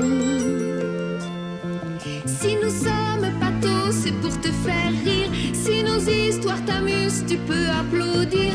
Mais surtout, n'oublie pas que dans les nuages, il y a ton village. Alors, le village dans les nuages. Alors, bizarrement, c'est un programme beaucoup plus récent, hein, parce que ça date de 1982. Moi, dans mes souvenirs, c'était fin des années 80. Et bizarrement, bah, j'en garde moins de souvenirs que l'île aux enfants, parce que, bon, quand même, le générique, normalement, ça nous replonge. Hein. Carrément. Moi, j'aimais Mm, beaucoup mm. ce programme. hein. Ah, moi aussi. Donc, c'est évidemment euh, une euh, série télévisée française, hein, euh, en 650 épisodes quand même. Ah ouais. Et malgré tous ces épisodes, bah, j'en garde pas beaucoup de souvenirs. J'ai pas d'explication parce que la seule chose dont vraiment je me souvenais, c'est que j'étais hyper fan. Créé également par Christophe Isard, donc on a déjà nommé euh, notamment pour euh, Casimir et gros flashback, il produisait également l'émission Vitamine. Oui. Ah. Vous savez, euh, l'émission qui donne bonne mine, Ouais. donc euh, produit par TF1 et diffusée à partir du 13 septembre 1982. Elle succède donc, comme l'a dit Yetcha tout à l'heure, à L'île aux enfants et est composée comme cette dernière d'une histoire mettant en scène des personnages principaux entrecoupés de petites séquences d'animation ou en live. Alors, pour parler un petit peu de l'histoire, l'émission met en scène deux familles d'extraterrestres appelées les Abars, qui viennent d'une planète lointaine nommée Arthas. Mhm. Alors, on a la famille Paltok, avec le père euh, bah, Paltok, de couleur jaune, et la famille Tirok. Et le père, donc, se nomme bah, évidemment Tirok, qui est lui de couleur verte. À bord de leur vaisseau, ils parcourent donc l'espace et malheureusement, euh, ce vaisseau subit une panne technique juste au moment même où une météorite se dirige sur eux. Embêtant. Ils ont alors à peine le temps de prendre leur soucoupe de secours, le spatio-globe, et de s'échapper. Déjà, moi j'aimais bien parce qu'à l'époque, on savait nommer les choses. hein. Vous savez, le spatio-globe. C'est ce qu'on voit dans le générique alors du coup. Ouais, alors dans le générique, par rapport euh, à la série, c'est en dessin animé dans le générique. Oui, oui. Et je trouvais toujours ça bizarre. Je trouvais que ça marchait moins bien en dessin animé. Ouais, c'est vrai. Alors donc, vrai. ils arrivent à proximité de la Terre et contraints de s'arrêter sur le, écoutez bien, sur le premier nuage qu'ils trouvent. Donc euh, bon, classe. Déjà là, on, là, ça fait tout de suite appel à tout ce qui est conte, euh, à Jack et le haricot magique, etc., etc. Enfin, je trouve. Mhm. D'ailleurs, vous allez voir, je c'est pas anodin. Et encore plus drôle, au milieu de ces nuages se trouve un drôle de village. Celui a non seulement l'étrange particulier d'être perché au-dessus de la terre, mais en plus euh, se trouve habité par deux petits vieux terriens. Oscar Paterne, l'ancien garde champêtre du village, et Émilien Duboeuf, l'ancien berger. Donc les extraterrestres vont prendre possession des lieux, euh, évidemment ce qui ne va pas manquer de provoquer bien souvent de vives discussions entre les deux euh, vieillards et des nouveaux habitants. En fait, on peut dire tout simplement qu'ils se sont fait coloniser. hein. Enfin voilà. Au fil des épisodes, de nombreux terriens, dont Ismail, seront euh, invités et le seul moyen pour leur rendre visite, c'est d'emprunter le fameux haricot magique. Donc là, ça revient vraiment à ce que je disais tout à l'heure euh, par rapport à Jacques et le haricot magique. Chose que je me souvenais très très bien, c'est que régulièrement, les abars recevaient des messages dans leur jolie boîte aux lettres placée à l'avant du nuage. Alors, est-ce que vous vous souvenez un petit peu de tout ça? Est-ce qu'il y a des bribes qui vous reviennent, Nicolas? Alors moi, absolument pas. Ouais, le village dans les nuages devait être euh, collé sur Croque Vacances parce que ça ne me dit rien. Et la question que j'aurais, c'est il passait des dessins animés quand même euh, dans le village dans les nuages ou c'était juste une émission euh, comme ça? Ah, si, si, il y avait des séquences aussi, hein, c'était le même principe. Hein. Il y avait des séquences de type l'île aux enfants. Ouais, c'était vraiment D'accord. du Casimir euh, like. Ouais, ouais. hein. Moi, je regardais comme la suite de Casimir hein, quand j'étais gosse. Hein. T'avais ça, et puis t'avais des chansons Oui. aussi de temps en temps. Moi, j'adorais les chansons qu'ils ce qui est drôle, c'est que moi, je suis exactement comme toi, euh, Michael Twix, c'est-à-dire que je me souviens que j'adorais, Mm. que je loupais pas un épisode, c'était vraiment super, et j'en ai très, très, très peu de C'est souvenirs. curieux, hein. Ouais, les noms, les trucs comme ça, rien, quoi. Du visuel, un peu, et encore, euh, pas beaucoup. Après, ça n'a pas été très rediffusé ce truc-là. hein. Euh, c'est certainement pour ça. hein. Ouais, il y a ça, puis peut-être que ça a été moins marketé qu'un Casimir, par exemple, parce que des goodies ou village dans les nuages, il y en a, mais pas comme Mhm. Casimir. Non, hein. c'est sûr. Clairement. C'est Moi, perso, j'ai gardé les chansons. J'avais un 45 tours à l'époque et euh, il y a plein de chansons qui me reviennent en tête. Alors, pour parler un petit peu de ce qui se faisait un petit- autour de la série, on parlait d'Yves Brunier, on parle aussi de Boris Chegam, Ouais. qui sont des collaborateurs de longue date de Christophe Isard, Isard hein, le monsieur qui a notamment produit Casimir, on l'a dit tout à l'heure, puisqu'ils incarnaient respectivement Casimir et Léonard dans L'île aux enfants. Voilà. Et l'envie vous prenait de vous racheter une collection. Il faut savoir que depuis le 2002, je crois qu'il y a deux coffrets DVD qui ont été réédités. Très honnêtement, regardez déjà un générique, ça va vous faire une petite Madeleine de Proust et puis regardez si euh, vous Ouais, souhaitez pense que ça poursuivre. va quoi. suffire, à mon avis. ouais. Voilà. Eh bien, merci, monsieur Twix. On va descendre dans l'arène politique pour aborder une émission qui fait un scandale. Cru, cru, cru, cru, cru. Pouf, pouf. Et voici le bébé show pour les RI, les socialos, les RPR et les fachos. Et ce sont tous des rigolos. Venez voir tous ces charlots, les intellectuels cocos, les députés des magots. Ils sont tous dans le bébé show. Ah bah oui, vous l'aurez reconnu. Hein. Là, les crac crac machin, euh, évidemment, on parle du bébé show ou du très show. On en reparlera un peu après pourquoi. Parce que donc, on parle d'une émission de télévision française satirique, de marionnettes, d'imitation et de parodie de l'actualité politique française. Évidemment, c'est librement inspiré, mais alors très très très librement inspiré du Muppet Show. Rappelez-vous, Kermitterrand. Appelez-moi Dieu. On sent le whiz hyper chaud sur le dossier Muppet Show, hein, tu vas en parler. Hein. Et donc c'est créé par Jean Amadou, pour qui j'ai un immense respect, et de Stéphane Collaro, qu'on a déjà eu l'occasion d'évoquer euh, dans notre euh, numéro sur l'humour des années 80. Stéphane Collaro que Wiz et moi nous adorons d'amour, quoi. Et de Jean Roucas, qui est, euh, me concernant, je suis un peu plus pondéré euh, sur sa manière de percevoir les choses, quoi. Alors, faut savoir que cette émission a été diffusée à partir d'octobre 1982 jusqu'en septembre 1995, donc exclusivement sur TF1. Initialement, donc, ça se base sur euh, l'humour et des jeux de mots. Donc, le BP Show euh, a ensuite commenté euh, quotidiennement l'actualité. Et à l'origine, faut savoir que ce n'était qu'une séquence des émissions de Coco Boy, que je crois qu'on avait déjà évoqué, mon Wiz. Hein. C'est pas impossible. Donc une émission qui passait de 1982 à 1984. Et puis enfin dans l'émission Cocori Coco Boy de mars 84 à juin 1985. Alors qu'après l'échec du Colari Coco Show sur la 5 et malgré le fait qu'une autre émission politique satirique avec des marionnettes soit apparue dans le Colari Coco Show, personnellement je ne m'en souviens pas. Moi non plus. Donc il s'appelait Les 20 corruptibles. Donc parodiant, comme son nom l'indique, les incorruptibles, qui n'eut pas le même succès que le Bébé Show. Donc Colaro revient rapidement sur TF1 et propose d'en faire une émission à part entière. Donc c'est-à-dire vraiment concentré et centré sur euh, les marionnettes, quoi. Donc, lancé en pleine élection française de 1988 dès le 14 mars, le BP Show est diffusé du lundi au vendredi à 19h50. Euh, voilà, à 19h50, tu savais que les parents, avec l'apéro, regardaient euh, le BP Show. Enfin, me concernant, c'est un peu le cas. Quoi. Moi, pas trop, en fait. Moi, ça me faisait rire euh, à l'époque, hein, donc je regardais pas mal euh, à l'époque, mais globalement, il y a que moi que ça faisait rire. Et d'ailleurs, arrivé à aujourd'hui, maintenant, il n'y a plus personne, parce que même moi, j'avoue. Non, que ça. Ça a arrêté de me faire un peu rire. On va en parler, mais oui, en effet, bon, il y a des choses qui vieillissent bien, et peut-être d'autres un peu moins.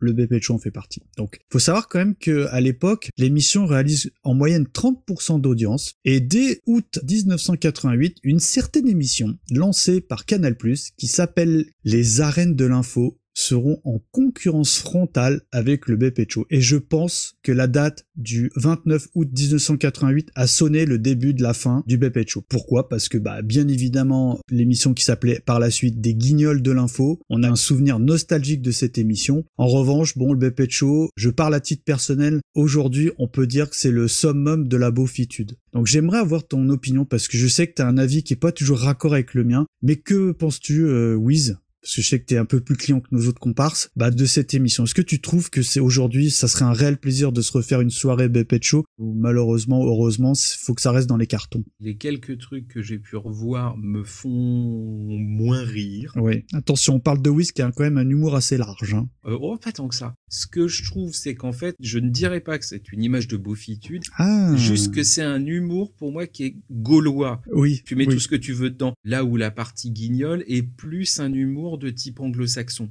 Ah, je suis complètement d'accord. hein. Après, on aime ou on n'aime pas. Peut-être que l'humour anglo-saxon vieillit mieux et qu'une fois que tu retires le contexte politique qui faisait que certaines vannes étaient drôles à l'époque euh, dans le bébé de show, Bah, ça matche plus aujourd'hui, hein. Ça matche plus et peut-être que ça vieillit moins bien, quoi. Alors moi, je vais essayer de te coincer, mon Wiz. Mais pourquoi quand je t'ai dit Show, t'as fait crac, crac, crac, euh, tu vois, les trucs, les... appelez-moi Dieu, c'est quoi, c'était les running gags, peut-être, qui revenaient régulièrement. Et nous, en, en enfant, on retenait que ça, peut-être. Oui, c'est ce que tu retenais. Ben Cassine, euh, euh, ça. Raymond Barre, il faisait euh, bah, la peluche.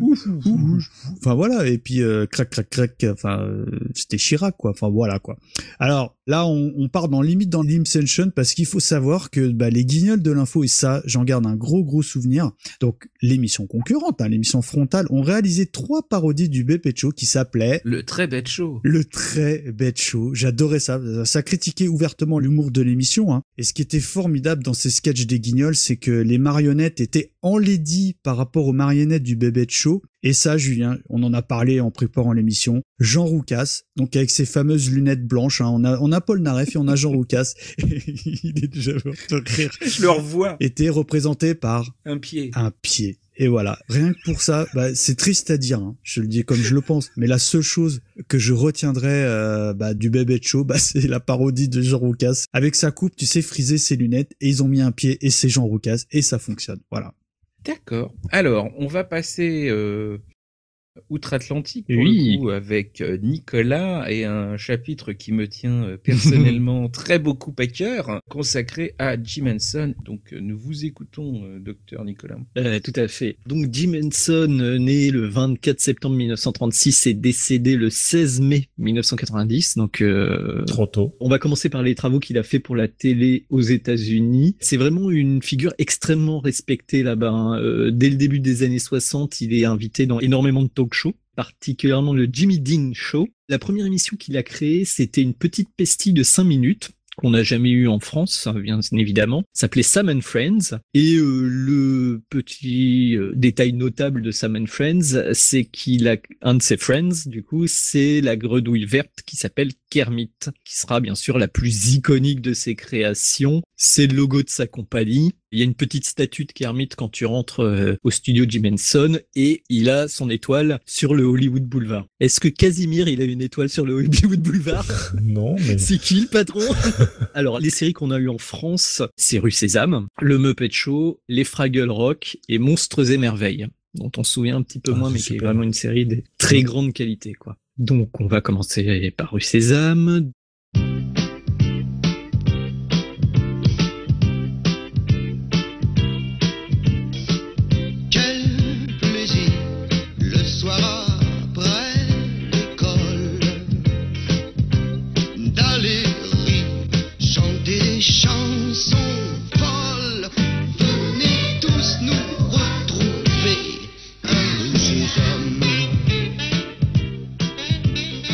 4378 épisodes. Diffusion encore en cours, hein, je crois, euh, sur euh, la 5. Ah oui, quand même. hein. C'est sans aucun doute euh, la série avec des marionnettes la plus longue euh, de l'histoire de la télévision. Au début, donc en 74, c'est inséré, comme tu disais, dans l'île aux enfants.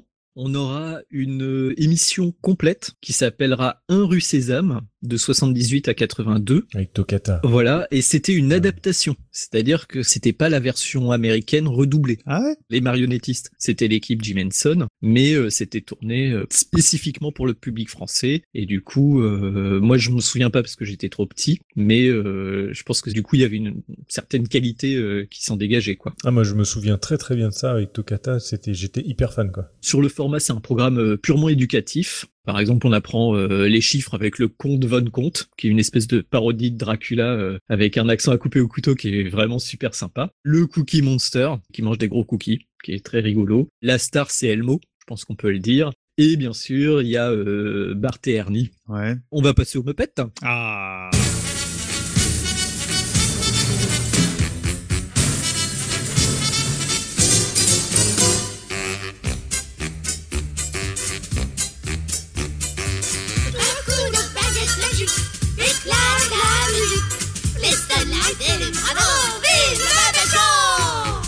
Il est temps de s'habiller, pour bien maquiller, on peut le rideau. Et maintenant que la fête commence, sur le plus illustrissime, fantastiquissime, super chaudissime et muppetissime, chante tous les C'est passé dans les années 70, mais moi je me souviens particulièrement de la version de 1986. Avec Charles Aznavour et tout. Ouais, je me souviens qu'il y avait un teasing de malade. Enfin, dans mon esprit de jeune enfant euh, de l'époque, ça avait vraiment fait euh, beaucoup parler de lui avant la diffusion. Donc, euh, bah, un peu comme dans Rue Sésame, c'est une euh, sélection de personnages complètement euh, chamarrés, on va dire. Il y a Kermit la grenouille, doublé par l'inoubliable Roger Carrel. Il y a Piggy la cochonne, qui a aussi été doublé par Micheline Dax. Il y avait Gérard Hernandez qui faisait un peu toutes les voix euh, annexes, euh, comme euh, Pozzi, euh, Ralph. euh, C'est Pozzi, c'est le batteur, non? Non, c'est le monstre euh, batteur. Ouais, c'est Animal. Ah oui. Animal, animal, pardon. Il y a Ralph aussi qui raconte ses blagues, qui est un espèce de proto stand-upper qui racontait des blagues complètement nulles. Le haut du panier du doublage Ah ouais, français. mais hein. tout à fait. Ah bah oui. Et bien Ah sûr, il y avait l'incroyable Gonzo. Et le cuistot. Ah là. oui, le cuistot, oui.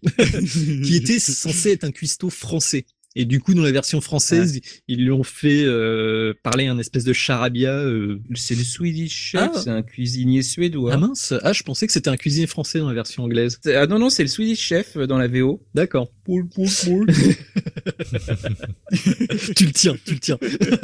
ah ouais, c'est ça, là, mais moi, c'est mon Ah, personnage grave. préféré. Une des chumes, des bons, des Ah, mousse. Il nous a réveillé le garçon. hein. Puis j'oubliais quand même les deux stars en fait du show qui sont Les petits vieux. Waldorf et Startler, Ah là là. euh, qui euh, sont en fait des petits vieux qui participent au spectacle parce que la forme du Muppet Show en fait c'est un spectacle de cabaret Tout à fait. dans un théâtre et du coup il y a ces deux petits vieux qui sont euh, dans les loges euh, un peu au-dessus présidentielles et à chaque fin de sketch en fait et ils balancent une vanne mais qui reste euh, extrêmement méchante hein, mais vraiment très très très très très très drôle. Contrairement à Rue Sésame, hein, c'est quand même vraiment plus orienté adulte. Oh, moi j'adorais enfant. hein. Oui, mais tu comprenais pas tout. Ah, non. C'est-à-dire que la nymphomanie de Miss Piggy, tu l'avais pas capté a priori. Enfin, tu trouvais ça marrant. Ouais, elle aimait bien Charles Et en ouais. sachant que le pilote, euh, j'ai vu ça en faisant mes trucs, ça s'appelait quand même The Muppet Show Sex and Violence. D'accord. Ah oui. Donc euh, ça annonçait quand même une couleur qui n'a pas été retenue, bien sûr. Clipper, si tu nous écoutes, il y a un épisode avec Stallone. Oui. Bah, je vous ai fait une petite liste hein, des invités les plus prestigieux. Ah. Il y en a, Ah j'en bah, oublie. euh, Jo- Elton John. Elton John, Mark Hamill et euh, d'autres acteurs du Star Wars. Vincent Price, ça les fans d'horreur Oui, le connaissent avec sa petite moustache. Euh, Il y a eu John Cleese des Monty Python. Ah oui. Il y a eu Alice Cooper. Celui-là, j'ai pas réussi à le retrouver l'épisode, mais j'aimerais Ah, vraiment le voir. J'aimerais bien le voir. Ouais, pareil. Il y a eu Christopher Reeve et Linda Hamilton. Ah oui. T'as eu euh, Superman et Wonder Woman euh, invités euh, suite à suite. La classe. Roger Moore, où là, Miss Piggy, elle est à 200%, elle en peut plus, voilà quoi, elle veut devenir James Bond girl. Et bien sûr, comme tu le disais au début, Charles Aznavour, seul Mm. invité français, je crois. Été le seul français. Mais Ouais. euh, qui, avait une réputation à l'époque, euh, enfin c'était un truc de dingue aux États-Unis. euh, il était vénéré. Pour euh, enchaîner, on va passer rapidement sur Fraggle Rock, Ah. dont il serait judicieux d'écouter un générique. Ah oui, rien- ah oui, mais ouais, c'est Ah va râler sinon.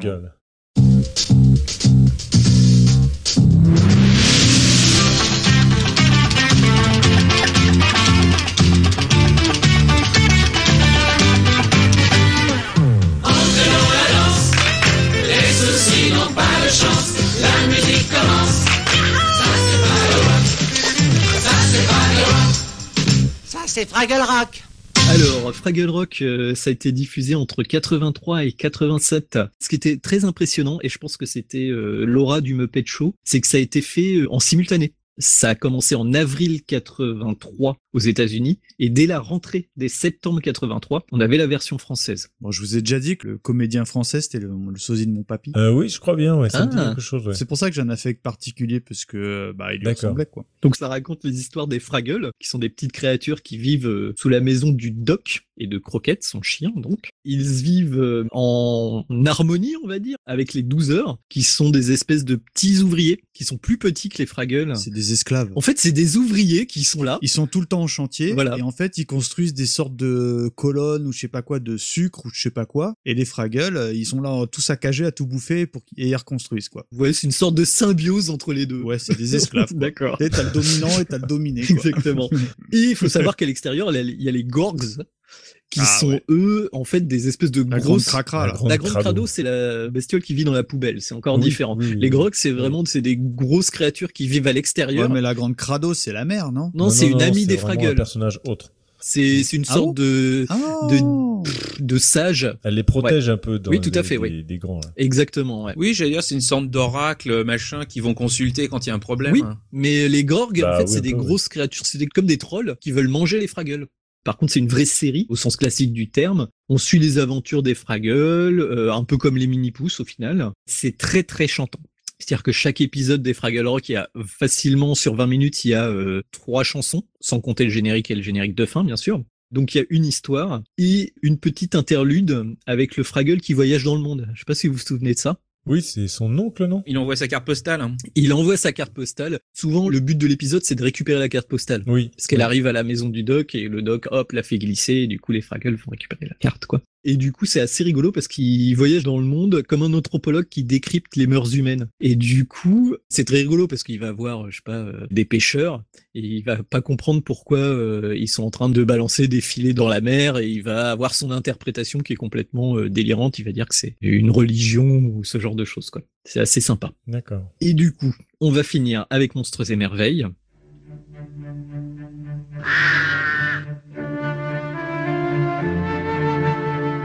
Lorsque tombe le soir et que la nuit est noire, lorsque la lune blanche s'arrondit dans le ciel, chacun d'entre nous sait que la meilleure place au coin du feu est celle des monstres et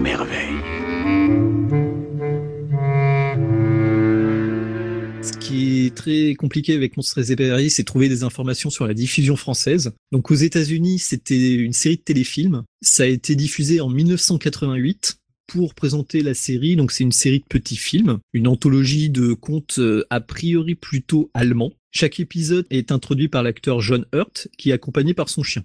Donc ça ressemble en ça euh, beaucoup à Fraggle Rock, en sachant que la marionnette du chien, elle est beaucoup plus réaliste que la marionnette de Fraggle Rock, mais ça reste un peu le même type de chien, euh, patapouf. Oui, c'est une évolution de croquette quand même. Ah oui, oui, il est un peu moins cartoon, il n'y a pas les oreilles qui se lèvent autant, mais ça ressemble beaucoup à Croquette, ouais. Je sais pas si vous l'avez déjà regardé, cette série, c'est une série très étrange. J'adore. Oui, oui. Ah, moi j'aime beaucoup aussi. Ah, je connais pas. C'est fabuleux, Ouais, c'est vraiment bien, une super Très, série. très bon. S'il faut se faire un parallèle avec le cinéma, ça ressemble au niveau euh, technique pas mal à Dark Crystal, sauf que on attaque des acteurs humains, donc ils vont discuter avec les marionnettes. C'est de qualité, quoi. Et euh, ah oui oui c'est ultra ultra qualité. Ça peut être un peu inquiétant pour des jeunes enfants quand même. Parce que ça parle de monstres, ça parle d'ogres. euh, on arrive au moment où euh, Jim Henson, euh, il a les coups des franges au niveau artistique, il a euh, de l'argent à plus savoir qu'en faire, je pense. Et du coup, euh, il a pu faire cette série qui est vraiment euh, sympathique, quoi. Il se fait place, quoi. Voilà. Ouais. En sachant qu'il est mort à 53 ans, hein, comme je disais au début, d'une pneumonie fulgurante. Et du coup, il a eu le droit quand même à un hommage national euh, sur la PBS, qui diffusait euh, tous ses programmes. Et l'émission hommage a quand même réuni plusieurs millions de spectateurs aux États-Unis. Ah oui, oui. C'est une institution, quoi.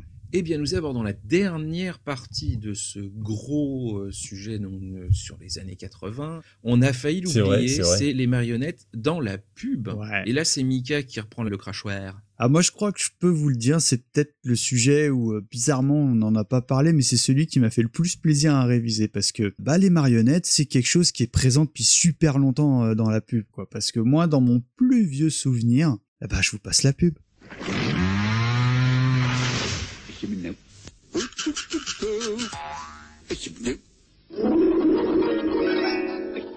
Ah, le chemineux Ah, évidemment, vous vous rappelez moi j'appelais ça le chien de TF1, mais en fait c'est un lion. hein. C'était le petit lion qui passait dans les interludes des publicités sur la chaîne TF1. Il s'appelle donc Loeki, hein, au chemineux. Donc c'est une marionnette apparue à la télévision le 2 janvier 1972 et elle fut créée par le cinéaste d'animation néerlandais, parce que la marionnette, pardonnez-moi, je ne l'ai pas précisé, mais vient de ce pays, Job Gessink. Donc les gags de 4 secondes, euh, son air attachant firent tout de suite euh, un succès, voire une mascotte. Le Loeki, bon déjà d'avoir un design assez intéressant, comme je l'ai dit tout de suite, si les auditeurs vous avez l'habitude de nous écouter, Hushmeneux, ça doit vous parler, hein, n'ayons pas peur des mots. Et ben en fait ça veut dire quelque chose, c'est une onomatopée, c'est dérivé du néerlandais, pardonnez-moi, mais nous qui signifie en gros ah bah ça alors. Ah oui, ah bah ça je savais pas. Ah bah ça Ah, alors. Tout de suite, ça Ah, prend sens, quoi. Tout prend sens. Ah oui. Pour rester sur le dossier publicité, tout de suite, on pense au, bah, au fameux crocodile des pubs Amstrad, le mordo informatique. Rappelez-vous, il me semble qu'on avait un peu expliqué l'origine de ce croco dans notre hors-série sur les jeux vidéo. On a la pub Lustucru, je l'avais Mhm. oublié, je crois que c'est toi, Yetcha, qui l'a rajouté, Ouais, parce ouais. que Germaine, Germaine, vous vous rappelez ça de ces extraterrestres verts? Ramené. Carrément. Avec la fourchette. Avec la fourchette. Mais moi, ça me faisait limite flipper parce que je pensais à Germaine, elle était bloquée là-haut. euh. Mince, non, non. Ah, qu'est-ce qu'elle va prendre, Germaine? Je suis désolé. Il Oui. est très tard, les auditeurs, pardon. On pense à l'ours cajoline, mine de rien, là, on est complètement dans le thème. Ouais. Et vous savez qui a créé l'ourson cajoline? Euh, c'est pas Uni Lever euh, ou quelque chose comme ça. C'est Kermit Love, en fait, c'est un gars qui a travaillé avec Jim Henson hein, Ah. et qui a créé aussi les costumes euh, des personnages de Big Bird dans Sesame Street et d'autres personnages dans Sesame Street. Et la voix de, ours- de l'ourson cajoline, ça c'est classique, c'est Brigitte Lecordier, celle qui a fait Booba, Bully, Conan, Son Goku, Son Gohan, Atreyu, Voltron, oui oui. Ah oui, maintenant que tu le dis, ouais, ouais, ouais. Et donc là, j'ai gardé quand même les deux pubs qui a fait l'unanimité au sein de la E-Team. Petit Pimousse au rapport Mais je suis là Tu veux ma photo? T'es bien petit pour être sur ce bateau. Petit mais costaud Sacré caractère, la framboise, j'aurais dû appeler le cassis. Tout ce qui te dit le cassis Petit Pimousse de la pie qui chante. Petit mais costaud C'est ce qu'il dit le cassis. Ah, la pique qui chante. Oh, il le tient bien, euh, Yetcha. Donc c'est euh, évidemment culte, quoi. Toute la pub de cette marque, elles sont bonnes hein, dans ces années-là. Savez-vous qui a créé le personnage de Picky Chante, la Ah, marionnette? Non. Alain Duverne, ça vous dit rien? Bah, Non. Alors, bah, c'est le créateur des marionnettes du Bébé Show, des Ah oui. de l'info et des Minicums. D'accord, oui, oui, oui. Donc, euh, quand même, Oui. respect. Et enfin, alors là, je pense que ça fait largement l'unanimité au- auprès de la team Bien évidemment, je vais vous parler de la carte qui te fait voyager à moitié prix. Et ton tonton Avec la carte Kiwi, tu payes moitié prix. Et ton papa aussi. Et ta maman aussi. Et ton tonton aussi. Et ta marraine aussi. Billets s'il vous plaît. Oui, oui, voici la carte Kiwi. Nos billets moitié prix. Moitié prix C'est pas possible. Mais si, c'est possible avec la carte Kiwi. L'enfant de moins de 16 ans. Et ceux qui l'accompagnent jusqu'à 4 personnes. Paye tous moitié prix. Un enfant, une carte Kiwi. Et on voyage à moitié prix. La carte kiwi, tu voyages à moitié prix. Oui, Moitié oui. là, C'est pas possible. Dans les pubs euh, avec le thème du jour, c'est pour moi, hein, j'espère que vous allez me suivre, la pub culte. J'ose espérer que les auditeurs, vous la connaissez au minimum un petit peu. Si vous la connaissez par cœur, on vous en voudra pas parce que euh, bah nous on l'aime, hein, on l'aime d'amour. Mais mes chers camarades, qu'est-ce que vous validez mon dernier choix? Tout à Ah fait. bah oui, non, complètement. et je me demande, alors, Yetcha, j'avoue que j'ai pas trop creusé parce qu'à la base c'était pas une rubrique qu'on avait euh, retenue. Je me demande si c'est pas les gars euh, qui ont fait les guignols, enfin le même type ou euh, en tout cas au niveau cara design, euh, on est proche des guignols mais version anglaise je pense. Ouais, ouais, on est plus Oui. proche de la version des euh, comment ça s'appelait Spitting euh, Image. Spitting ah, Image. Spitting comment? Spitting Image. Ah, Spitting Image, ouais, euh, l'émission des qui, a- qui est juste avant les Guignols de l'info en fait en France, ouais. Et Mais qui a été inspiré par euh, Le bébé de les Ouais. Ah oui. Alors je me permettrais, parce qu'on en a discuté pendant la préparation, d'ajouter que c'est quand même, à mon sens, le meilleur rôle de François Fillon. c'est clair. Regardez la pub, les amis. Ah ouais, non mais ils la. Nos auditeurs sont des gens de goût, ils, ils valident la carte kiwi. Bah, il valide, il valide. Il faut quand même des, des jeunes avec toi, quoi, sinon bah ça faut que tu pas, ouais quoi. mais ça te permet de voyager à moitié prix. Ah bah oui, quand même, Voilà. à, à moitié prix. Bah, après, c'est comme la carte jeune, hein, si tu paies le prix. T'as tout compris. Ouais. Nous abandonnons les années 80 pour aborder donc le chapitre consacré aux héritiers. Donc on commence tout de suite avec euh, bah, si je vous dis euh, Coco, euh, Diva, Jojo, Nag, Vanessa, Zaza, Josie, vous me répondez Les minicums. Eh ben voilà.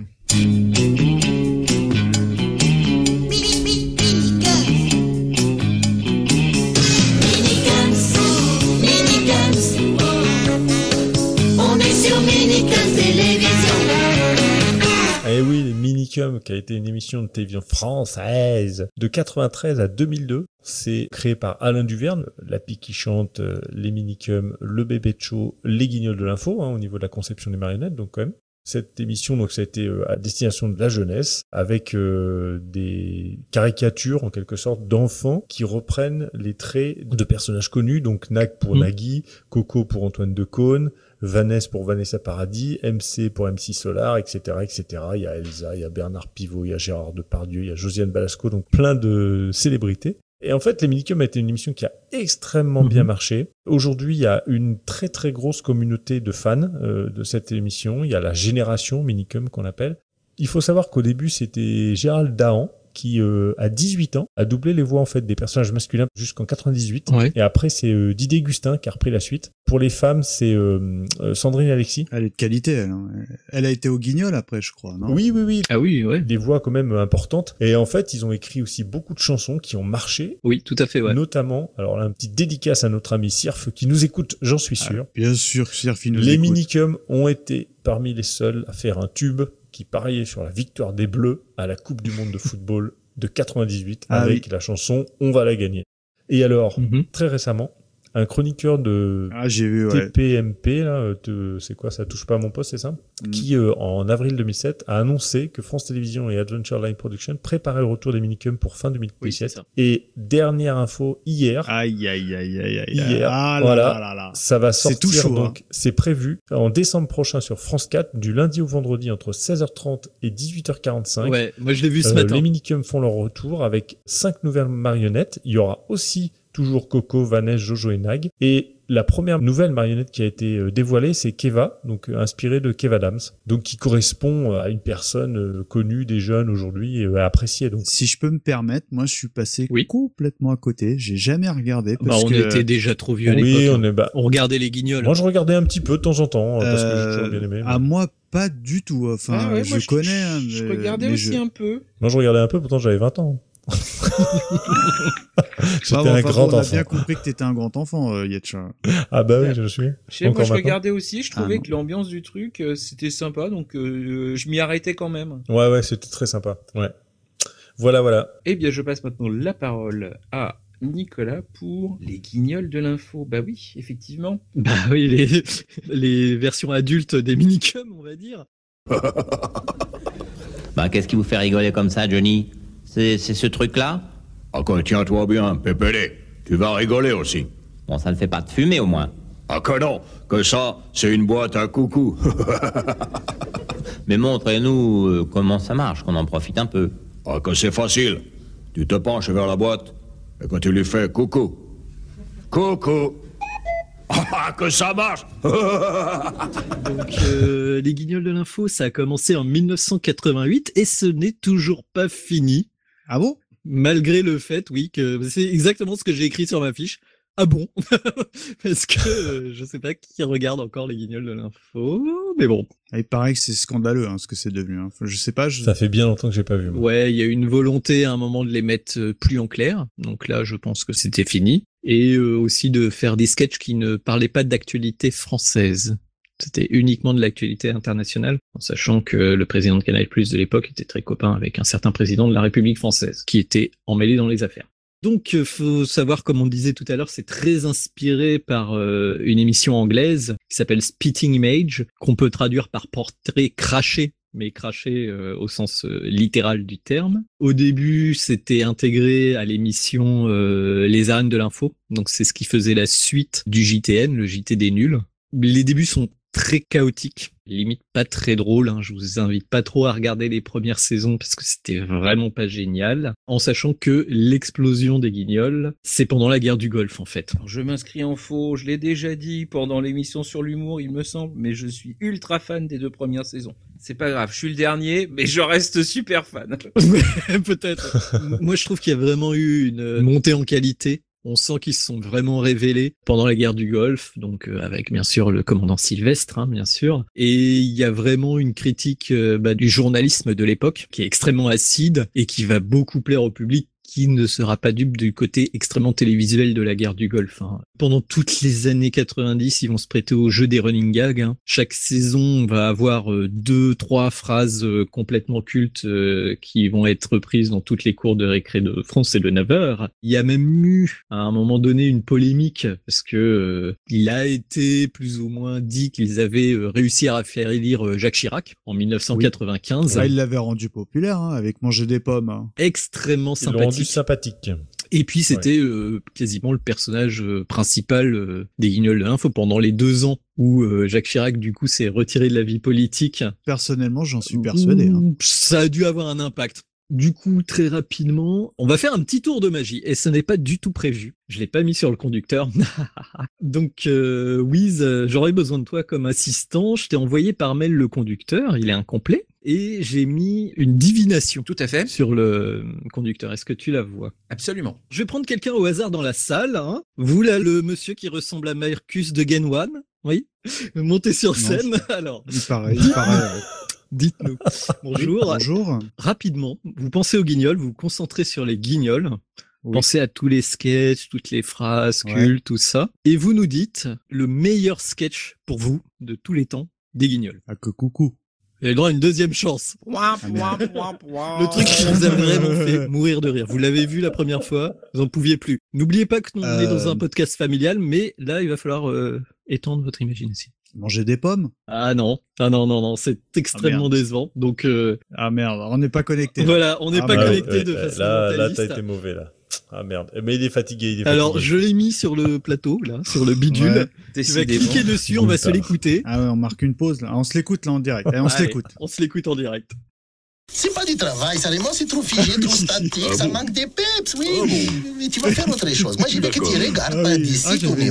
aucune- Voilà, comme ça. Et tu me regardes. Je veux du feu dans ton nez. D'accord. Voilà, voilà. Puis c'est bien. C'est mieux, c'est mieux. Du fait. Voilà, c'est mieux maintenant. C'est artistique, c'est beau, voilà. Et maintenant, tu enlèves ton pantalon. Oh non, mais tout de même. Tu l'enlèves complètement et tu tombes aussi ton slip. Voilà, tombe les Et tu Oui, ton corps. Fais onduler ton corps. Il est beau comme il, fait rire ton corps. Tu sais, eh, si, si, si, si, tu les fais vivre. Tu es beau, vraiment, tu es beau. et tu libères, tu apprivoises et tu te On est d'accord, c'est celui-à ton préféré. Ah oui. Et ben voilà, la magie existe, la divination existe, c'est magique. Et ben on va faire un petit tour de table aussi parce que je, bon, je connais bien Mikado. Les gars, euh, Jules par exemple, le truc qui te revient en tête. Euh, Ah bah, moi, j'ai une grosse Madeleine de Proust sur euh, Yves Montand disjoncte, hein, le nouveau disque d'Yves Montand où il chante euh, Balibalo, euh, et où à la fin, il, il, enfin, il chante Boum Boum pour l'ameublement et l'électroménager, Boum Boum. Ouais, ouais, je m'en souviens, c'était énorme.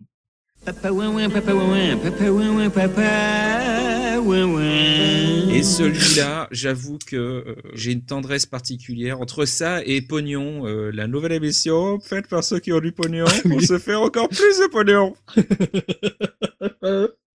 Avec Téléstar et Pognon, tous les mois, gagnez 12 francs. Et forcément, on a pris tout le pognon. Encore plus de pognon. Voilà, bah ça, j'ai prends le ça pognon tu t'en fous. Mais quand on Qu'est-ce que en t'en a as à foutre, moi. foutre? Bah oui. euh, Et rien à donc foutre. Yetcha, est-ce que t'as un Mais quand on a pété. ému? Bah moi les, les sketchs avec Sabatier ouais je, je kiffais bien justement parce que c'était à peu près la seule personne que j'arrivais à peu près à imiter donc euh, j'étais assez fan. C'était Stallone hein, que je préférais. Moi. Ah, il y avait Stallone aussi, ouais. Ah ouais, avec la World Company et tout là. Putain, fais chier. Ah, moi, j'ai adoré justement le côté au début euh, général américain et après ils ont tordu le concept Ouais. qui ne voulait plus rien dire en fait parce que c'était les chefs de l'économie mondiale Et c'était Oui. Stallone, le chef de l'économie mondiale. tu- Plusieurs Stallone. Oui, plusieurs Stallone, plein de Stallone. Et quand tu suivais le truc, ça ne faisait aucun sens si t'arrivais euh, en plein milieu du truc, mais euh, c'est devenu ultra culte. C'est clair. En sachant que moi, ma préférée, c'est un sketch qui est peut-être un petit peu moins connu, et c'est toujours avec Chirac et Philippe Seguin. Ils avaient fait un remake de Pulp Fiction, justement. Ah oui, oui, Quand oui. euh, ils ont réussi à à, fait. à- à niquer Balladur euh, pour l'élection Ouais, ouais, ouais. présidentielle. Fiction, avec Jacques Chirac, Édouard Balladur, Charles Pasqua et Philippe Seguin. Bon bah, c'est pas tout ça, mais ça m'a donné faim ce truc-là. faut savoir qu'il faisait une émission par jour, donc il, il tournait euh, un sketch euh, par jour complet, et euh, la qualité était euh, vraiment au top à cette époque. Ouais, ils étaient, ils étaient inspirés. Quoi. Mm, tout à fait. Juste pour une petite euh, précision, euh, est-ce que vous savez comment elles sont animées, les marionnettes? Parce que au niveau Euh, technique. Une personne pour les bras et une personne pour la bouche et, Et les yeux, alors. Alors c'est un peu comme ça, en effet, ouais. Il y a une... Et avec euh, les doubleurs qui sont dans un aquarium et qui, de mémoire, ne voyaient pas ce qui se passait au Ouais, début. c'est possible. Alors ça, je ne sais pas par rapport au doubleur, Mm. mais c'est vrai que les têtes sont aménagées en fait d'un T de contrôle qui soutient la main du marionnettiste, puis d'un système de câbles qui anime les yeux de droite à gauche, qui ferme les paupières, etc. Et c'est vrai qu'ils sont deux voire trois pour les animer. Et en fait, euh, pour obtenir les, les têtes, ils les sculptent Mm. en accentuant certains traits dans la glaise, et ensuite il y a un moulage qui est fait et qui servira pour euh, faire des personnages en latex euh, sur la fin. La touche finale, ce sera la mise en place de la perruque. Et donc Mm. c'est Alain Duverne, hein, celui qu'on a cité déjà plusieurs fois, qui est créateur de ces marionnettes. D'accord, merci, D'accord. merci docteur. Pour conclure sur cette euh, partie, euh, Nicolas Oui, alors du coup, on va conclure avec une autre forme euh, de marionnette qui n'existait pas en fait euh, dans les années 80, vu que ce sont les marionnettes en images de synthèse. J'aime pas. moi. Et il y a des trucs bien et il y a des trucs moins bien. Ouais, c'est Développe. ça. Alors, c'est des trucs bien, j'en ai pas trouvé perso. Donc du coup, on va parler de la première euh, marionnette virtuelle qui date des années 80, donc on triche un peu. C'est Max Headroom. Est-ce que ça vous parle? Ouais. Oui, oui, complètement. Ouais. Qu'on voit dans Retour vers le futur 2. Tout à fait. Ah oui, exact. C'est un Ah personnage oui. très bizarre euh, avec une tête complètement synthétique. Alors, faut savoir que c'était fait pour la télé anglaise. hein. C'était pour Channel 4. Au début, il a été créé pour présenter des clips musicaux. En sachant que, pour faire une idée pour les gens qui ne voient pas à quoi il ressemble, en fait, c'est un personnage relativement réaliste où la tête du personnage et ses cheveux se confondent. Du coup, il a un aspect à la fois réaliste et surréaliste et il est animé en fait par petites sections. Pour vous faire une idée, dans Retour vers le futur, il y a une image de Ronald Reagan où il parle à Mark Fly. Ouais, ouais, tout à fait. Ouais, ils s'engueulent même, je crois. Il parle de façon très saccadée en fait. C'est comme si on prenait des petits bouts d'un discours pour Ah, les coller. jump cut. Voilà, c'est du jump cut pour les coller et créer un autre discours quoi. Je croyais que c'était même pas de l'animation. En fait, c'était un vrai personnage pour lequel on avait fait deux trois bricolages pour le faire passer pour un truc de synthèse alors que ça n'en était même pas un. Eh bien, justement, le- alors là, c'est en direct live. Je vois, parce que je cherchais un petit peu les images pour me remémorer, et je vois que c'est marqué sur Wikipédia, hein, tout simplement, que c'est présenté comme une réalisation numérique, mais en réalité, un acteur habilement maquillé pour lui donner un aspect artificiel. D'accord. Ah ouais. Enfin, il y a quand même le côté remontage Ah, d'image. je pense euh, après derrière, oui, oui, oui. Mais c'est vrai que ça prête à confusion. Euh, Moi, je pensais aussi que c'était de l'image de synthèse, ouais. Tout à fait. Et en plus, euh, ce qui prête encore plus à confusion, c'est que après avoir été présentateur sur une chaîne de télé, en fait, ils ont créé une série. Enfin, regardez des images, les auditeurs, c'est vraiment euh, assez incroyable pour l'époque. On va aller sur euh, les rivages de Canal+, Mm. avec euh, une autre créature. Alors là, ça, c'est du 100% synthèse et c'est de la 100% marionnette. Je parle bien sûr de Mikado. Cléo, Cyberfly. Ah, elle te plaît bien, Cléo. Eh ben, écoute, j'ai toujours dit ça, que je regarde vraiment pas la télé, donc je connaissais, Mm. mais euh, j'en garde pas un souvenir ému. Et bon, évidemment, pour les besoins du podcast, j'ai regardé et euh, c'est extrêmement gênant Oui. puisque Lara Croft à côté, elle est plate, quoi. Enfin, et ça, je l'ai mis sur les réseaux sociaux et depuis, nos auditeurs euh, n'arrivent plus à regarder euh, Cyberflash, mais en fait, ils ont fait un personnage qui est à poil. Oui, tout à fait. C'est-à-dire que c'est du body paint un peu. Ouais, c'est ça, ouais, tout à fait. ouais. Poitrine avantageuse aidant, elle a les tétons qui pointent et tout. Et elle a une tête très bizarre aussi. C'est un petit peu gênant, quoi. Voilà. Je suis pas malaisant, comme on dit un petit peu, quoi. Le truc qui était intéressant, c'est que c'est une des premières émissions qui parlait de jeux vidéo, d'internet. Ah oui, non, mais et l'émission est bonne, euh, voilà. Et c'est vrai que pour faire passer les geeks pour des gros puceaux attardés, là, là, je pense que Bah voilà, c'est ça. on était pas mal. En sachant sachant que quand même la technique euh, d'animation est assez intéressante parce que c'est vraiment une personne, alors je imagine que c'était une femme, qui bougeait devant une caméra. Ses mouvements étaient retranscrits directement sur la créature de Cléo. Oui, c'est ça. C'était vraiment du live, quoi. Ouais. Non, mais ça marchait bien. Hein. Alors ça se voit parce que c'est très bizarre. Elle a pas les vraies articulations d'un être humain et elle en fait des tonnes. C'est-à-dire que dès qu'elle est excitée, la nana elle saute sur elle-même en secouant les bras pour euh, essayer d'utiliser au maximum cette technique. Mais voilà, ouais, c'est vrai que c'est assez gênant au final euh, quand tu regardes ça maintenant. Enfin, c'était euh, sympa pour les rétro gamers, quoi. On enchaîne avec euh, encore une réalisation euh, encore plus cauchemardesque. et pourtant, ça date de 98-2004, quoi. Je, je sais même pas comment c'est possible. La gaffe, qui lui était Ouais. en réel, hein, euh, on oublie souvent de le dire, accompagné de Euh, Gros Bill. non, Bill, Bill, tout l'ex- court, ouais. l'extraterrestre. Voilà, moi j'ai jamais regardé le Big Deal. Bah, moi non plus. je vais vous faire personne. n'a- Euh, Jules, tu as regardé le Big Deal une fois dans ta vie? Le Big. Deal. Le Big Deal? les bégodils. Non, ben non, non, non. Moi, le, le seul truc de la gaffe qui m'amuse, c'était le- la version Zoubida des inconnus, quoi. C'est tout. Oui, The Cure. C'est tout ce que j'ai retenu de la gaffe. Ouais, voilà. Bah moi j'ai pas grand chose à dire sur ce truc-là. C'était le même principe que Cléo. C'était pas enregistré, donc c'était vraiment en direct. La gaffe proposait des jeux au public et à des gens par téléphone, si j'ai bien compris le principe. Et t'avais une espèce de voix off, ça se faisait beaucoup euh, à la fin des années 90, qui était matérialisé par ce petit personnage euh, de Bill qui faisait des blagues de prout, je crois. J'en sais rien, j'ai jamais Ouais, j'ai jamais regardé. Après, très rapidement, deux émissions pour les enfants. Donc, on va commencer par Sid, le petit scientifique. C'est une émission pour les 3-7 ans pour découvrir le monde des sciences. Là, on est en quelle année, là, Nico? 2004, euh, première Ah, diffusion. Je connais pas. C'est un dessin animé en 3D euh, classique. diffusé, ça, je crois, non? Ouais, c'est encore diffusé, Ouais. ouais. Et sauf que ça a été créé par la compagnie de Jim Henson. Mmh. En sachant que ce qui est euh, assez triste pour la compagnie de Jim Henson, c'est que contrairement au- à Big Deal ou à Cléo, c'est pas de la marionnette, c'est de l'image euh, de synthèse classique animée Ah oui. euh, avec des petits logiciels et tout.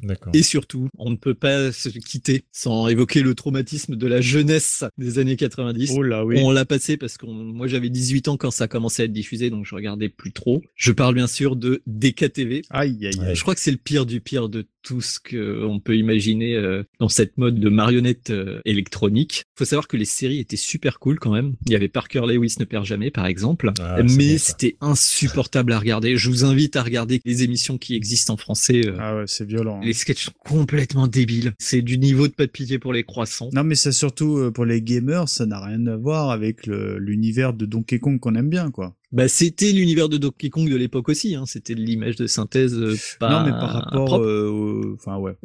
Enfin, non, non, mais c'est indéfendable. C'est Voilà. de la merde. Et, et c'est quand même l'émission qui a tué les émissions de jeunesse sur France 2. hein. Ah oui, tu crois? Ouais. Euh, alors ça a duré jusque début 2004 Ouais. et ça a été remplacé par euh, l'émission KD2A. Je sais pas si ça vous parle. Ouais, me dit quelque chose, ouais. Ce n'était plus vraiment une émission jeunesse, mais une émission pour les ados. D'accord. Et tout le pôle jeunesse en fait est parti chez France 3, France 4 euh, et compagnie. Donc euh, on peut euh, remercier euh, Donkey Kong pour avoir tué les émissions jeunesse sur le service public euh, généraliste, quoi. Voilà.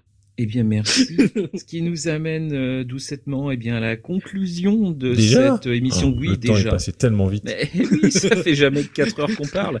Euh, sa table pour les auditeurs, ils ne s'en rendront pas compte. Mais euh, Michael Twix est en train de se liquéfier sous sa table. je suis claqué. Ah, je, suis, dans un état. Alors, conclusion. Tout ça nous amène donc à la conclusion. Donc, euh, j'avais proposé à mes chers camarades de faire un petit tour de table. A priori, ils ont plutôt envie de dormir. Donc, je vais conclure euh, moi-même comme un grand en faisant mon grognon habituel. Mais c'est ça. Euh, et puis voilà, en disant que bah, on a fait un bon tour quand même d'une période qui est hélas un petit peu révolue. En Mm. tout cas, moi, c'est mon avis. Oui. Et qu'on a vu passer euh, dans cette période-là hein, depuis quelque chose qui était très artisanal, à- Artisanal. à une évolution Ouais. un petit peu plus, euh, comment dirais-je, Technologique. voilà, techno, de la professionnalisation, un côté plus masse pour qu'au final, bah, maintenant, on fasse quasiment plus que de l'image de synthèse. Et bah, ça perd un petit peu de son charme, quoi. Ah bah, ça vieillit moins bien. Hein. Ce qu'on disait, regarde les, euh, les euh, Cyber Flash, Donkey Kong, tout ça, ça a super mal vieilli. Hein. Bah, à la limite, même si je pense à ce qui se fait maintenant, t'as envie de faire une marionnette, et ben t'alignes trois Chinois et deux Macintosh, et puis ça te fait une marionnette. Il y a encore quand même quelques trucs, mais c'est au, au Québec. Ils ont perpétré un peu la tradition. Ils ont encore quelques trucs avec des marionnettes. Et dont un Mm. truc qui passe encore, euh, ça s'appelle Théo Théo. Je sais pas si vous connaissez. Non. C'est une marionnette euh, d'un un petit garçon en fait euh, qui va euh, aller voir des gens pratiquer un métier, pratiquer un sport. Il demande comment ça se passe, etc. Et donc c'est une caméra euh,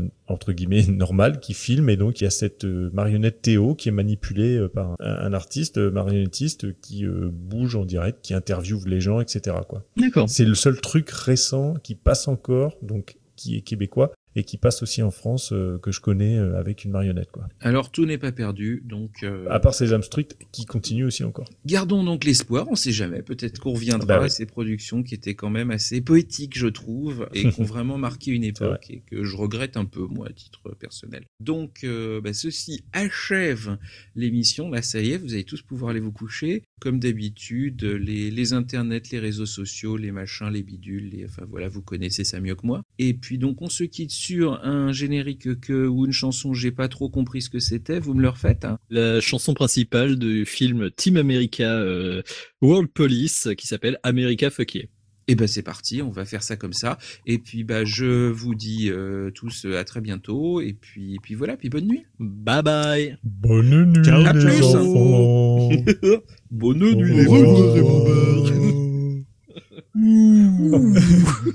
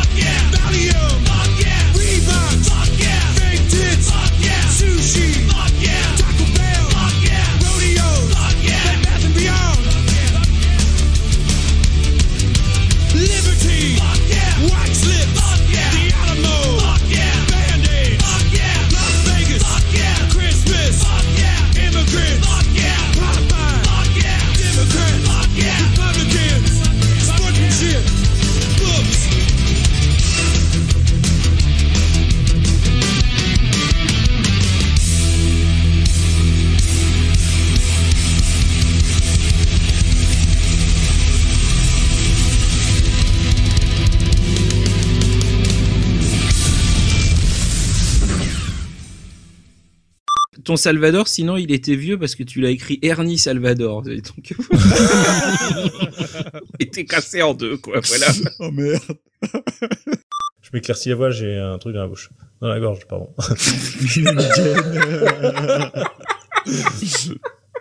pardon.